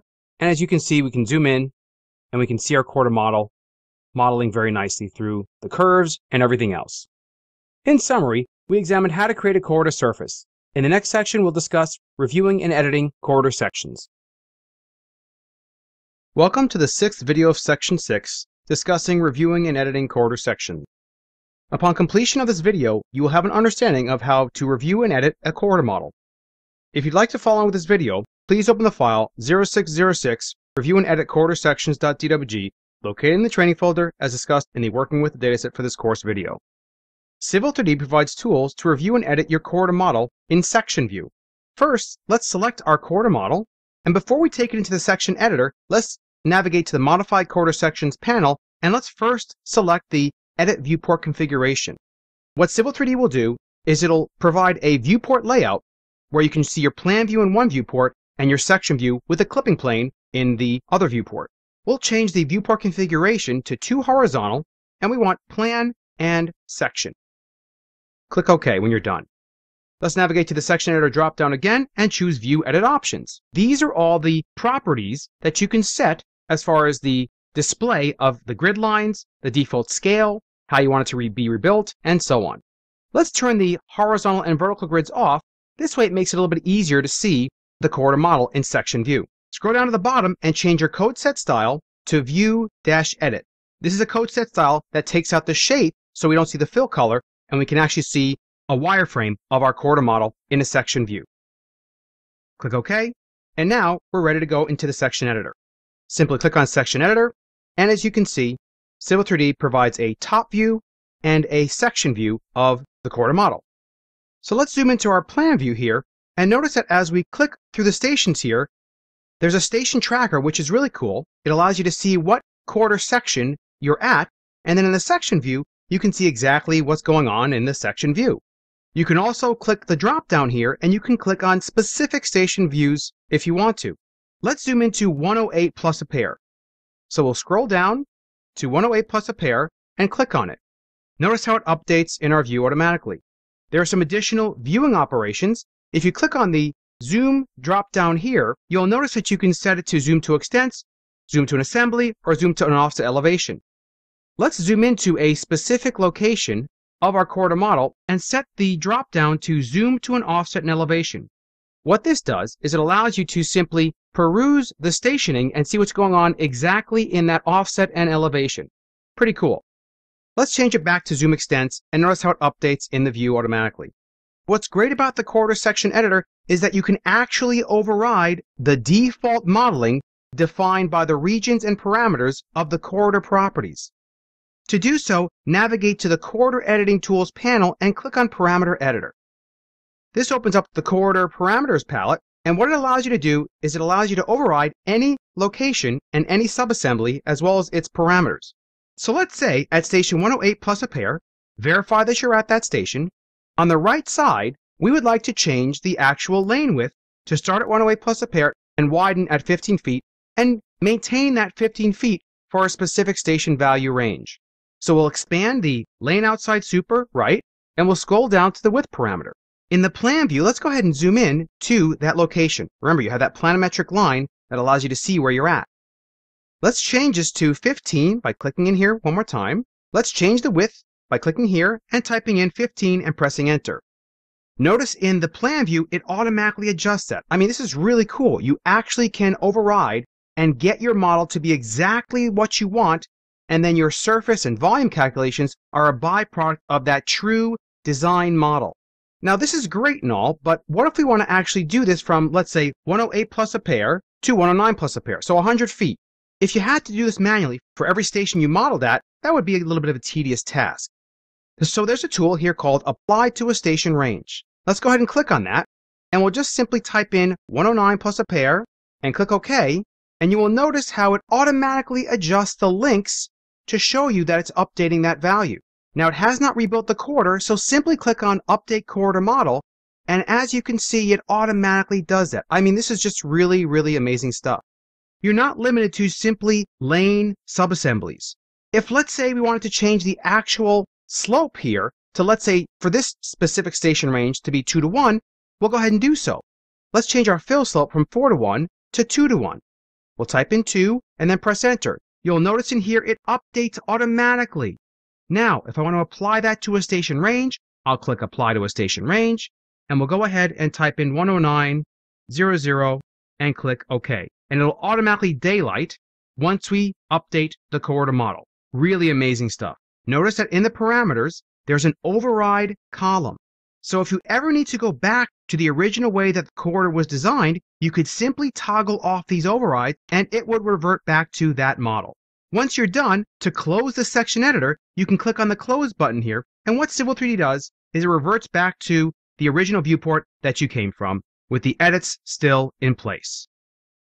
In summary, we examined how to review and edit corridor sections. In the next section, we will discuss an overview of intersections. Welcome to the seventh video of Section 6 discussing an overview of intersections. Upon completion of this video, you will have a basic understanding of intersections. If you'd like to follow along with this video, please open the file 0607 in Overview of Intersections.dwg located in the training folder as discussed in the Working with the Dataset for this course video. Civil 3D provides a very nice tool to help you create intersections. Intersections are the ability to combine centerline alignments profiles, offset alignments, and assemblies to create a single corridor model. The intersection can also be edited after the intersection is created. To create an intersection, navigate to the Create Design panel, Intersection dropdown, and you'll notice you have Standard Intersection as well as many roundabout tools. Of course, what's great about the intersection tool is that they provide dynamic modeling capabilities that will link all of the different aspects of the intersection for you. So for instance, if you were to change an offset alignment within the intersection, of course the corridor will update automatically. So where are all the components of the intersection stored? In the Prospector tab of the tool space, navigate to the Alignments category, and here you can see all the different types of alignments that exist here that were created from the Intersection Design tool. As you would expect, each of the different alignments also contains their own profiles, which are dynamic profiles linked to the other parts of the different resources being used in the intersection. There is also an intersection category. As you can see, all it does is list the resources that we just examined, and they are shortcuts to them. You can right click on many of the different parts here, and you'll be able to edit a lot of the different parameters and properties from them. There is also an intersection object in Civil 3D. What's great about it is that if you select the intersection object, you'll notice in the ribbon you have many intersection type tools where you can edit the offsets, the curb returns, sidewalk profiles, lane slopes, and so on. There's even an option to recreate the corridor regions if things get out of sync in some sort of way. So just to summarize, remember the intersection design wizard is simply a tool that puts all of the different resources under one category, making it easier for you to make edits. In the end, you are still getting a single corridor object with regions and parameters. In summary, we examined an overview of intersections. In the next section, we will create an intersection. Welcome to the eighth video of section 6 discussing how to create intersections. Upon completion of this video, you will have an understanding of how to create intersections. If you'd like to follow with this video, please open the file 0608 creatingintersections.dwg located in the training folder as discussed in the Working with a Dataset for this course video. So let's take a look at how you create an intersection using the Intersection Design Wizard. Navigate to the Home tab, Create Design panel, Intersections dropdown, and click on Create Intersection. Civil 3D is asking you for the intersecting point. When you hover over the intersection, it'll automatically know which alignments you are trying to create the intersection for. In the Create Intersection dialog box, let's set the name here to US-90 and SR-10. Notice the option to define the style. We'll leave it set to intersection marker. Notice the option for the label style as well. And notice the option for the intersection corridor type. So whichever type of intersection you would like to create, you can do so here. We'll make sure we set it to primary road crown maintain. Go ahead and click next. You can set the priority here if you'd like to. And then you have the ability to define your offset and curb return parameters. We'll go ahead and click Offset Parameters. And in the Intersection Offset Parameters dialog box, when you click on the specific alignment, it'll actually highlight in the file. So here's where you can define the value that would match the lane width for each of the different roadways. We'll leave the defaults and click Cancel. Same thing with the curb return parameters.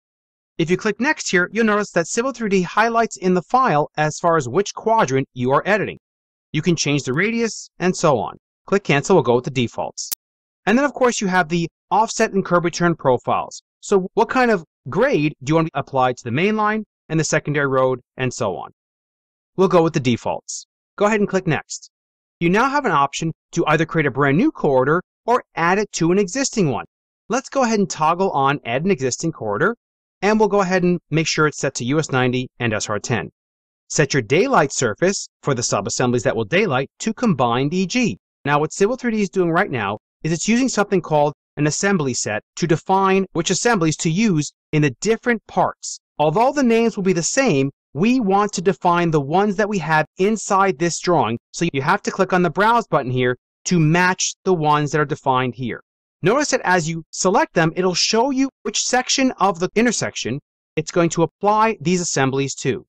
So we'll go ahead and pick the ones, just match them here. Make sure you pick the part section daylight left and the part section daylight right. And then we'll do the secondary road, and this will be the left side, and this will be the right side. Click OK. Now let's say this set of assemblies could be applied to many other projects within your company. What you can do is you can save this as a set, and what will actually happen is Civil 3D will not only store an XML file that points to the different assemblies, it'll actually save the assemblies as separate DWG files, making it much easier to reproduce this exact type of intersection. Let's click on Save as a Set. We'll navigate to our dataset folder, and we'll give this a name of intersection standard 1 and click Save. Now, if we ever need to load that back up, you would simply click Browse and it'll load all the different assemblies used for this type of intersection. Let's click Create Intersection, and that's simple. You now have your intersection completed. Normally, this is what should occur. However, sometimes you will see missing regions within the intersection and it'll show blank areas. If you just simply do a regen all, REA, that should clean things up. But if it does not, simply select the intersection and navigate to recreate corridor regions and recreate your corridor regions. Let's go ahead and view our intersection. Go ahead and select it. We'll go to the object viewer in the general tools panel. As you can see, the intersection wizard has done exactly what we wanted to do and the assemblies have been applied appropriately to each of the different regions along the intersection. Really cool stuff, and saving you a lot of time. In summary, we examined how to create intersections. In the next section, we will examine reviewing and editing an intersection. Welcome to the ninth video of section 6, discussing how to review and edit intersections. Upon completion of this video, you will have an understanding of how to review and edit intersections. If you'd like to follow along with this video, please open the file 0609 Reviewing and Editing Intersections.dwg located in the training folder as discussed in the Working with the Dataset for this course video. Let's examine how you can review and edit your intersection. Remember, the intersection tools are simply ways for you to edit the different resources or components that are used to create the corridor model. Let's first look at the Toolspace Prospector tab and navigate to the Intersections category. If you expand the intersections, and then expand the different subcomponents here, you'll notice that if you right click on any one of these, you can edit the different parameters or settings related to the object that you are right clicking on. That's one way to do it. Another way is to select your intersection object and navigate to the modify panel and select the tool that you're interested in. Let's say we want to change the curb return for this side to 50 feet. We'll go ahead and click on edit curb returns and as you can see when you click on next or previous here, it highlights in the file notifying you which quadrant you're editing, which is really nice. We'll change this to 50 feet and press enter. You'll notice that immediately it changes the radius and some of the lengths are kind of updating. But obviously this is not completely updating the entire corridor model. We'll close the palette here and we'll click on recreate corridor regions. You'll notice another palette appears allowing us to basically define any of the different settings that were used to create the regions in the first place. You can add to an existing, you can create a brand new one from here. We'll leave it with the existing corridor and make sure we set this to combined EG. Notice that you can change any of the assemblies that were used to create it in the first place, as well as browse for a new assembly set. We'll go ahead and just simply click on recreate because we're good with the assemblies used and automatically it is rebuilding the corridor model. Really cool. Now the next step that we want to do is we want to increase the frequency around these regions because it's not really tight enough to get proper triangulation and eventually a good corridor surface. The next thing we'll do after that is we want to tie in our other parts of the corridor model. So let's press escape, go ahead and select your corridor model, and let's go ahead and click on Edit Frequency in the Modify Region panel. What's really cool about these tools is you can simply hover and it'll highlight the region you need to edit. We'll change the curve areas, because that's all we have here, to 2 feet in the profile and in the plan and click OK and immediately you notice it's updating. We'll click over here and change the tangent to 2 feet as well. Over here, change it to 2 feet. 2 feet, click OK. And let's say we want to get the area over here really accurate as well. Click inside there and along tangents, profile curves, click OK. And lastly, we'll go ahead and pick in here and make sure we get the curves in there. Now that that's complete, press escape once to end that tool, and now all we need to do is zoom in, make sure we pick the right grip, and then zoom back out here, and I can use snapping to simply snap to the station where this needs to tie into. You are actually manipulating the region's station-to-station -station values. We'll zoom in way close here, and make sure we grab this grip there, zoom back out, and this will actually model the entire side road part and it's dynamically daylighting as you would expect it to.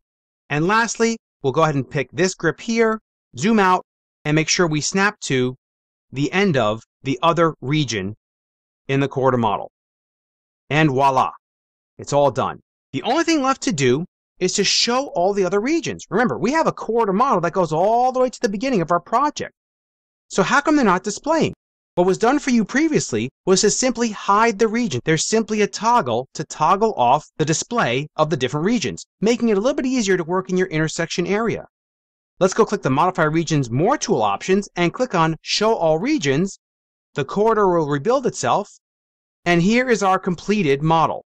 Really cool. One last note, you'll notice that there's an out-of-date icon with the intersection object. Do not right-click and rebuild or update the regions. If you do so, this will override any of the edits that we have done here with the frequencies as well as the edit to this curb return. In summary, we examined how to review and edit intersections. In the next section, we'll examine an overview of pipe networks. Welcome to the first video of Section 7, discussing an overview of pipe networks. Upon completion of this video, you will have an understanding of pipe networks and all their settings and styles and parameters. If you'd like to follow along with this video, please open the file 0701 pipenetworksoverview.dwg located in the training folder as discussed in the Working with Dataset for this course video. A pipe network is a combination of pipes and structures that exist in a drawing. A pipe network can be displayed in any of the standard views, including plan, profile, or cross sections. Pipes and structures are defined in the part catalog provided by Civil 3D to narrow down the entire part catalog, you define something called a parts list so you do not have to work with every part that's in the catalog. Let's look in the drawing and notice that we have a few pipe networks already in our drawing. Notice that the pipe networks are displayed in plan view with labels and the profile view as well with labels and any changes made to any of the views will update the pipe network automatically. The pipe networks live in the prospector tab in the pipe networks category and then if you expand networks, you'll see the pipe networks that you have in your drawing. There are many, many settings and styles you must define or at least be aware of in Civil 3D when it comes to pipe networks. If we navigate to the settings tab and look at the different categories, we have pipe networks category, which is where your parts lists are defined, and you also have individual settings and styles for the pipes as well as the structures. The pipe and structure categories are used to control the different display options in each of the different views. Let's look at a parts list to kind of see how it all comes together. We'll double click Storm Sewer. This opens up the Network Part List dialog box. The part list will look at the Civil 3D catalog and pull out the different parts that you want to add to this specific type of parts list. The parts list also tells Civil 3D which styles to use for the different pipes and structures that you define in this parts list. So the pipes tab will contain the pipes that you would use for this type of parts list. As you can see here, we've got a concrete pipe and an HDPE pipe. You'll learn in a minute here that this is simply used for naming and labeling the pipes. There's no analysis going on based upon the type of pipe. You can also see how each of the different pipes is controlled by the style, material, pay item, as well as the rules.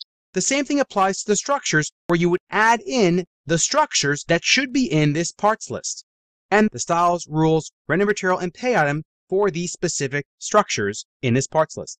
You'll notice this column called the rules, which is available in the pipe and structure tabs. The pipe and structure rules control how pipes and structures are placed on the assigned surface. So as you place a pipe network across a surface, it will use these specific rules to define the elevations for the pipe and structures. Now, that said, you will most probably use Autodesk's Storm and Sanitary Analysis software for your real drainage design and then bring those files into Civil 3D. So honestly, when it comes down to it, the main functionality of pipe network objects within Civil 3D is strictly for plan, profile, and cross-section view automation. There is no analysis done within the drawing whatsoever. Finally, let's examine how you set the pipe network catalog for your session of AutoCAD.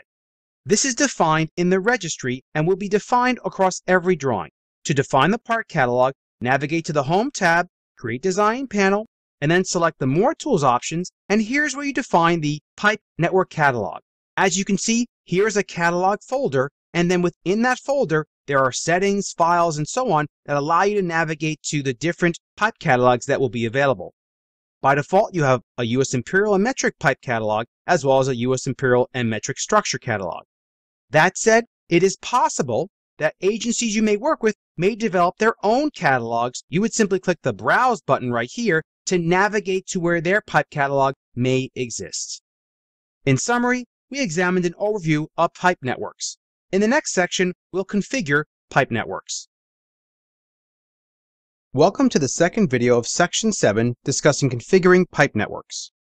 Upon completion of this video, you will have an understanding of how to configure a pipe network. If you'd like to follow with this video, please open the file 0702 configuring pipenetworks.dwg located in the training folder as discussed in the Working with Dataset for this course video. Let's examine the settings and styles you should understand before configuring pipe networks. First, let's navigate to the Settings tab and then right-click on the pipe network category and choose Edit Feature Settings. Just make a note that there are many, many settings that you define here that control many of the ways that you place pipes and structures within your drawing. Now let's navigate to the pipe category. Notice how we have sections for pipe styles, pipe rules, any labels and tables you may create with your pipe objects. Let's look at a pipe style to see what's actually going on inside them. We'll go ahead and double click on double line storm to go ahead and edit it. As you can see, the pipe style is segregated into different tabs that control how the pipe object that uses this style should display in the plan view, the profile view, and the section view. And of course, as with all styles, there's a display tab which tells Civil 3D which subcomponents to turn on and off inside each of the different views. Let's go ahead and collapse the pipe category and look at a structure style. Again, you have the structure styles, the rules, and any of the labeling or tables you want to create. We'll expand the structure styles and let's go ahead and look on a storm sewer manhole existing. Again, the style is segregated into each of the different views to view them. The only addition to the structure style is how you would like this to display in the model view. The model view is when you rotate the view, how do you want the actual structure to display? Typically, using the catalog defined 3D part is what you want to be set to. That way, as you rotate the view around, it'll automatically show you the exact 3D model of the part. And then we have the plan view, which in this case would probably be a block, the profile, the section, and then of course, as is common with all, the display tab, which will tell Civil 3D how to display the structure object in the plan, model, profile, and section view, and which subcomponents should go on what layers, and so on. Now let's examine the rules. If we expand the pipe rule set, let's go ahead and edit the basic one to see what you have available to you. Again, Rules are simply there to initially control how the pipes should get placed when you're laying them out in the drawing. You can of course change the invert elevations once the structure and pipes are placed in the drawing, but this just kind of gets it started. You'll notice there's a cover and slope and length check rule. To add a rule, simply click on the Add Rule button. You can't edit any of the values from the rule name here, but you can simply click OK, and then once you add it in here, you can then change the values of the different settings or parameters. If we look at the structure rules, click on Add Rule. Again, you have some rules to initially lay out the structure. Once you have it placed in here, you can then define the actual value for the rule that you add in. As a note, if any of the rules are broken by the placement of your pipe network, the pipe network will still be placed and you will receive a notification in the Prospector tab that tells you one of the rules defined by the pipe or structure is being broken. Now that you have an understanding of the different components that make up a pipe network, let's look at the parts list that brings these components together. Let's zoom to our pipe network category and expand parts lists. We'll go ahead and double click the storm sewer parts list to edit it. So the way that you interface with any part of the parts list is you right click on the different categories. So for instance, if you wanted to add a specific kind of pipe, you could right click on the actual part family name and click add part family. You'll notice here if you click on these, you get a nice little preview of what is actually going to be placed. Again, there's no analysis going on here. This is simply the structure of the actual pipe. If we expand the different pipes we have here so far, let's say we wanted to add a pipe size. We'll go ahead and right click on the concrete pipe and click add part size. And let's say we needed to add in a 36 inch pipe. So we'll click on 36. We'll click OK here. And now we have that pipe in here. So what we would then do is simply click on here and actually give it the name of the pipe. This will be used by the label. You then tell Civil 3D what style to use for that pipe, what rules to use for that pipe, and what render material to use for that pipe. So let's go ahead and pick on concrete cast in place flat gray dot one and click OK. Again, it's that simple. The same thing applies to the structures. So if you wanted to add a structure, you would right click, add part family, and whichever structures are not already inside the parts list, you could simply add them in here. Same thing with the sizes. You would simply right click on there, click add part size, and add in the different sizes based upon the parametrics defined by that actual part. In summary, we examined how to configure pipe networks. In the next section, we will discuss laying out a pipe network. Welcome to the third video of section 7 discussing laying out a pipe network. Upon completion of this video, you will have an understanding of how to lay out a pipe network. If you'd like to follow along with this video, please open the file 0703 laying out a pipe network.dwg located in the training folder as discussed in the working with the dataset for this course video. So before we lay out the pipe network, we must create it. Navigate to the Home tab, Create Design panel, and then Pipe Network dropdown. Notice the options to create pipe networks. The one we're interested in is Pipe Network Creation Tools. In the Create Pipe Network dialog box, let's call this one P-SS. Let's verify that we picked the correct network part list. We'll pick Storm Sewer. And let's go ahead and click on the Layers button. This verifies that the pipes and structures will go on the correct layer in each of the different views. What we'll do here is simply click on this Layers button and we'll add a modifier for a suffix called dash P. We'll click OK here. We'll do the same thing for the structures. This way, we have an easy way to freeze and thaw the pipes and structures in this network. Click OK. We'll use the FG surface. Just so you know, the FG surface is the finished grade surface. It's a combination of the existing ground and our roadway as well. That way the pipes and structures will be placed relative to that combined surface. We'll pick the P-SR-10 alignment. This will be used by the labels to reference this alignment. For now though, let's turn our labels set to none. This way, the pipe and structures will be laid out nicely without any congestion of the labels in the area. Click OK, and the network layout tools appear. Note that because of the parts list we selected, we will see those specific parts within our drop-down tier. Let's set our structure to a concentric cylinder structure, and we'll pick 6 foot DMH, and we'll set our pipe to 12 inch RCP. Make sure we have our slope set to downslope, as you can see here, but notice how you can toggle it either way. The tools available are pipes and structures, pipes only, or structures only. Let's go ahead and click on pipes and structures. We'll zoom into the end of our stationing because if we look at the profile, you'll see that the ground is sloping down that way. So we're going to start at the end and kind of move our way down stationing. We'll zoom in, and what we're going to use is the station offset transparent commands. I'll type in apostrophe SO and then press enter. Notice how Civil 3D prompts you to select the alignment. Let's go ahead and select the alignment, and notice how the jig comes up.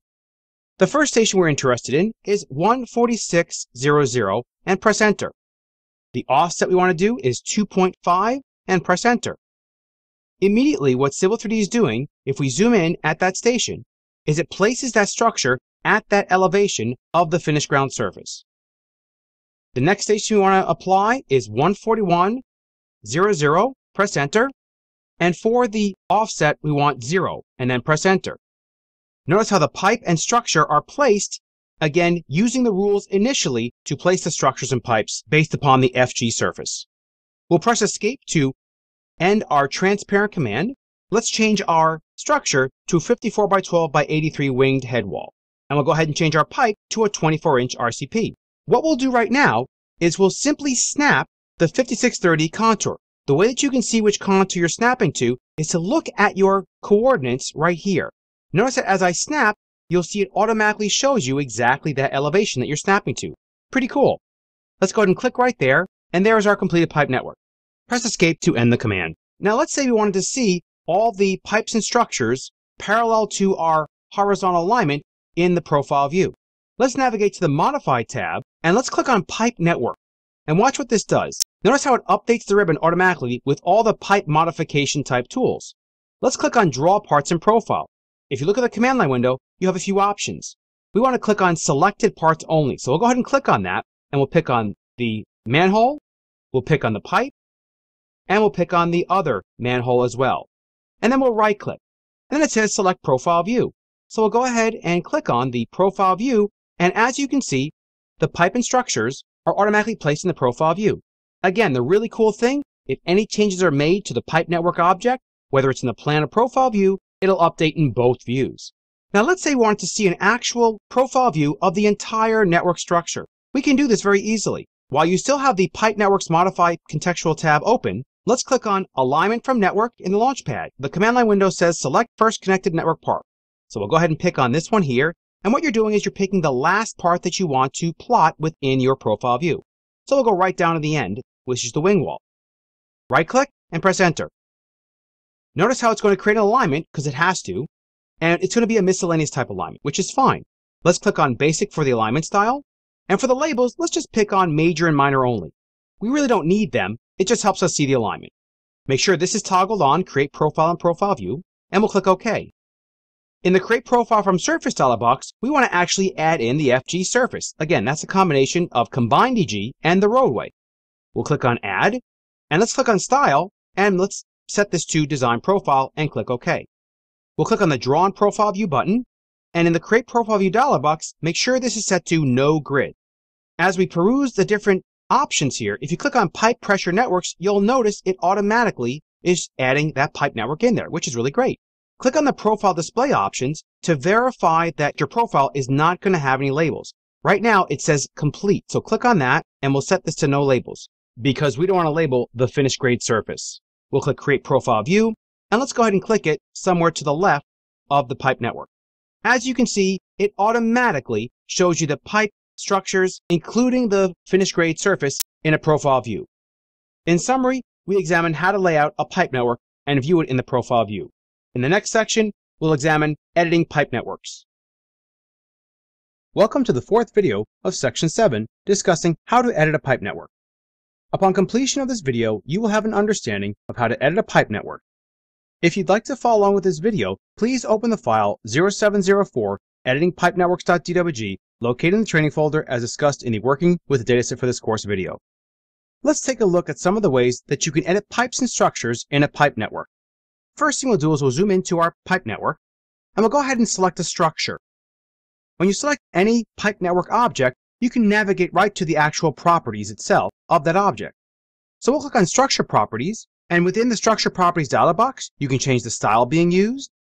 You can go to the Part Properties and change many of the different settings like the surface it's using, or the northing and easting here, the rim behavior, the sump behavior, and so on.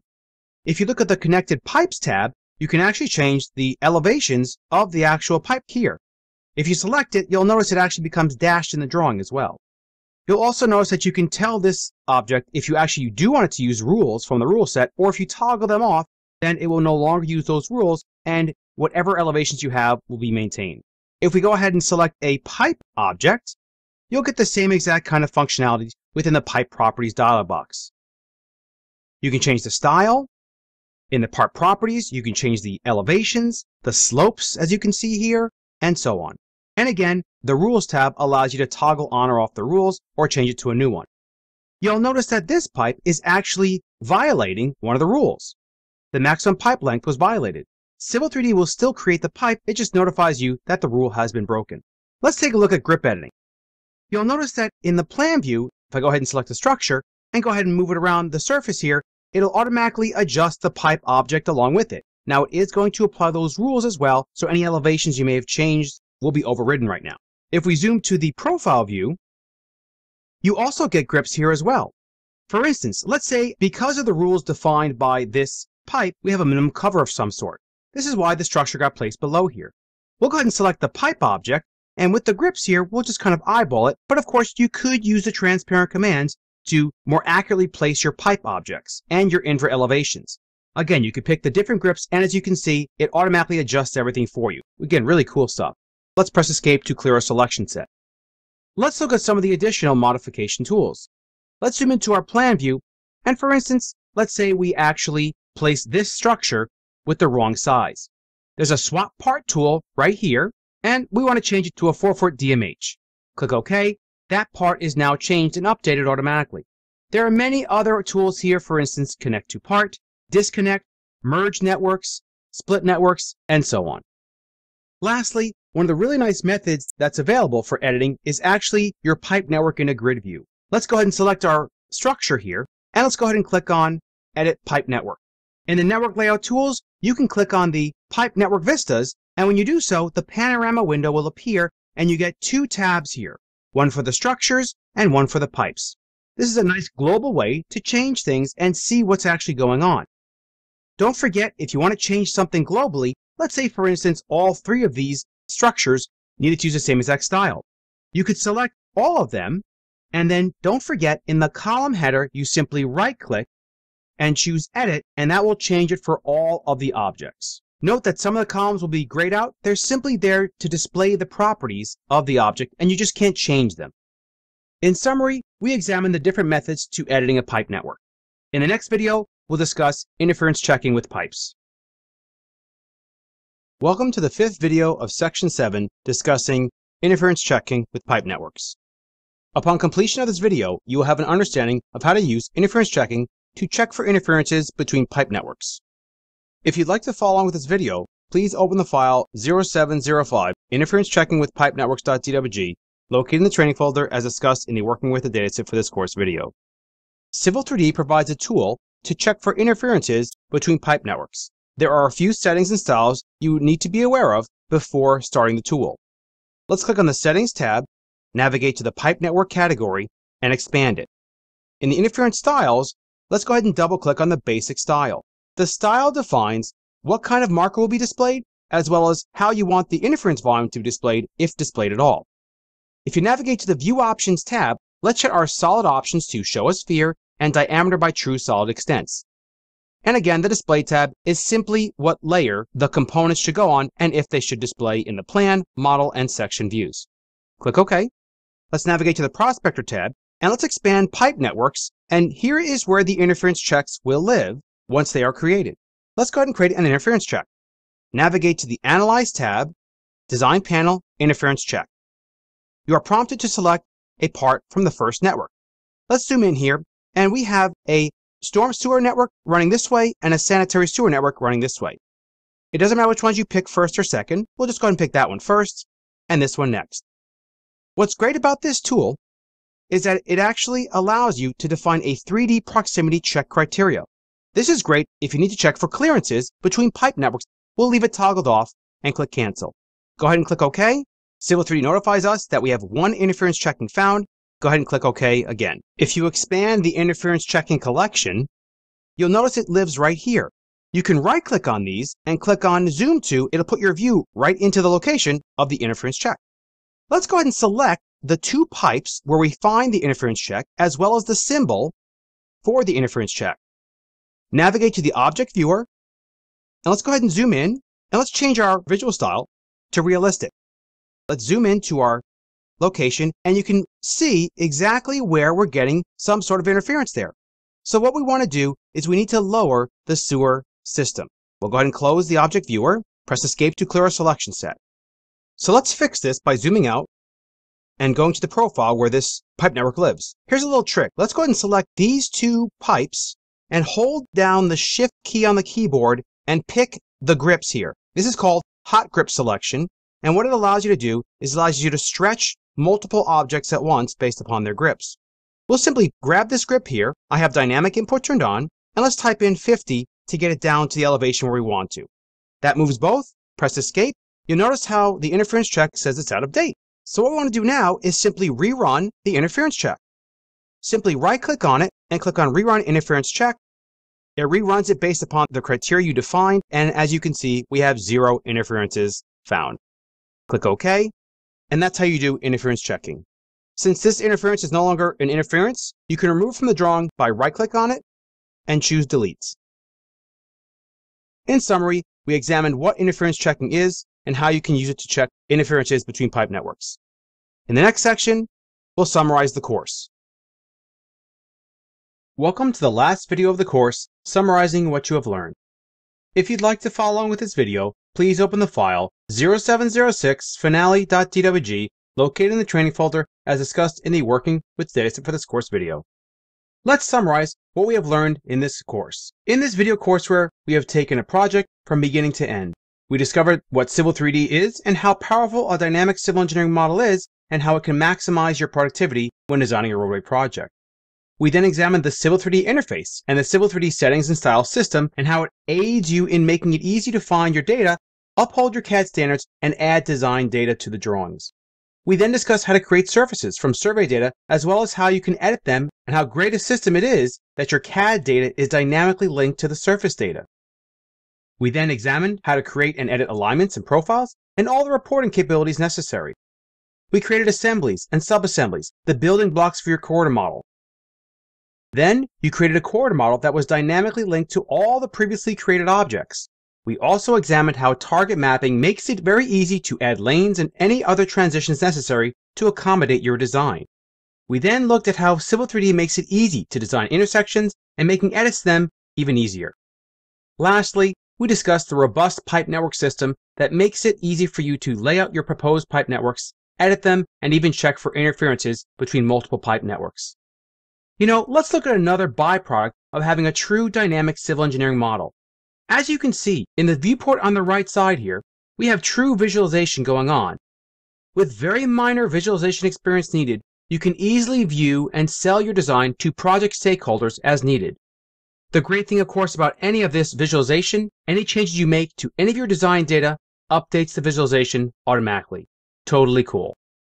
On behalf of myself, Seth Cohen, and all at Packt Publishing, I would like to thank you for taking this video course and wish you all the best designing your projects using Civil 3D.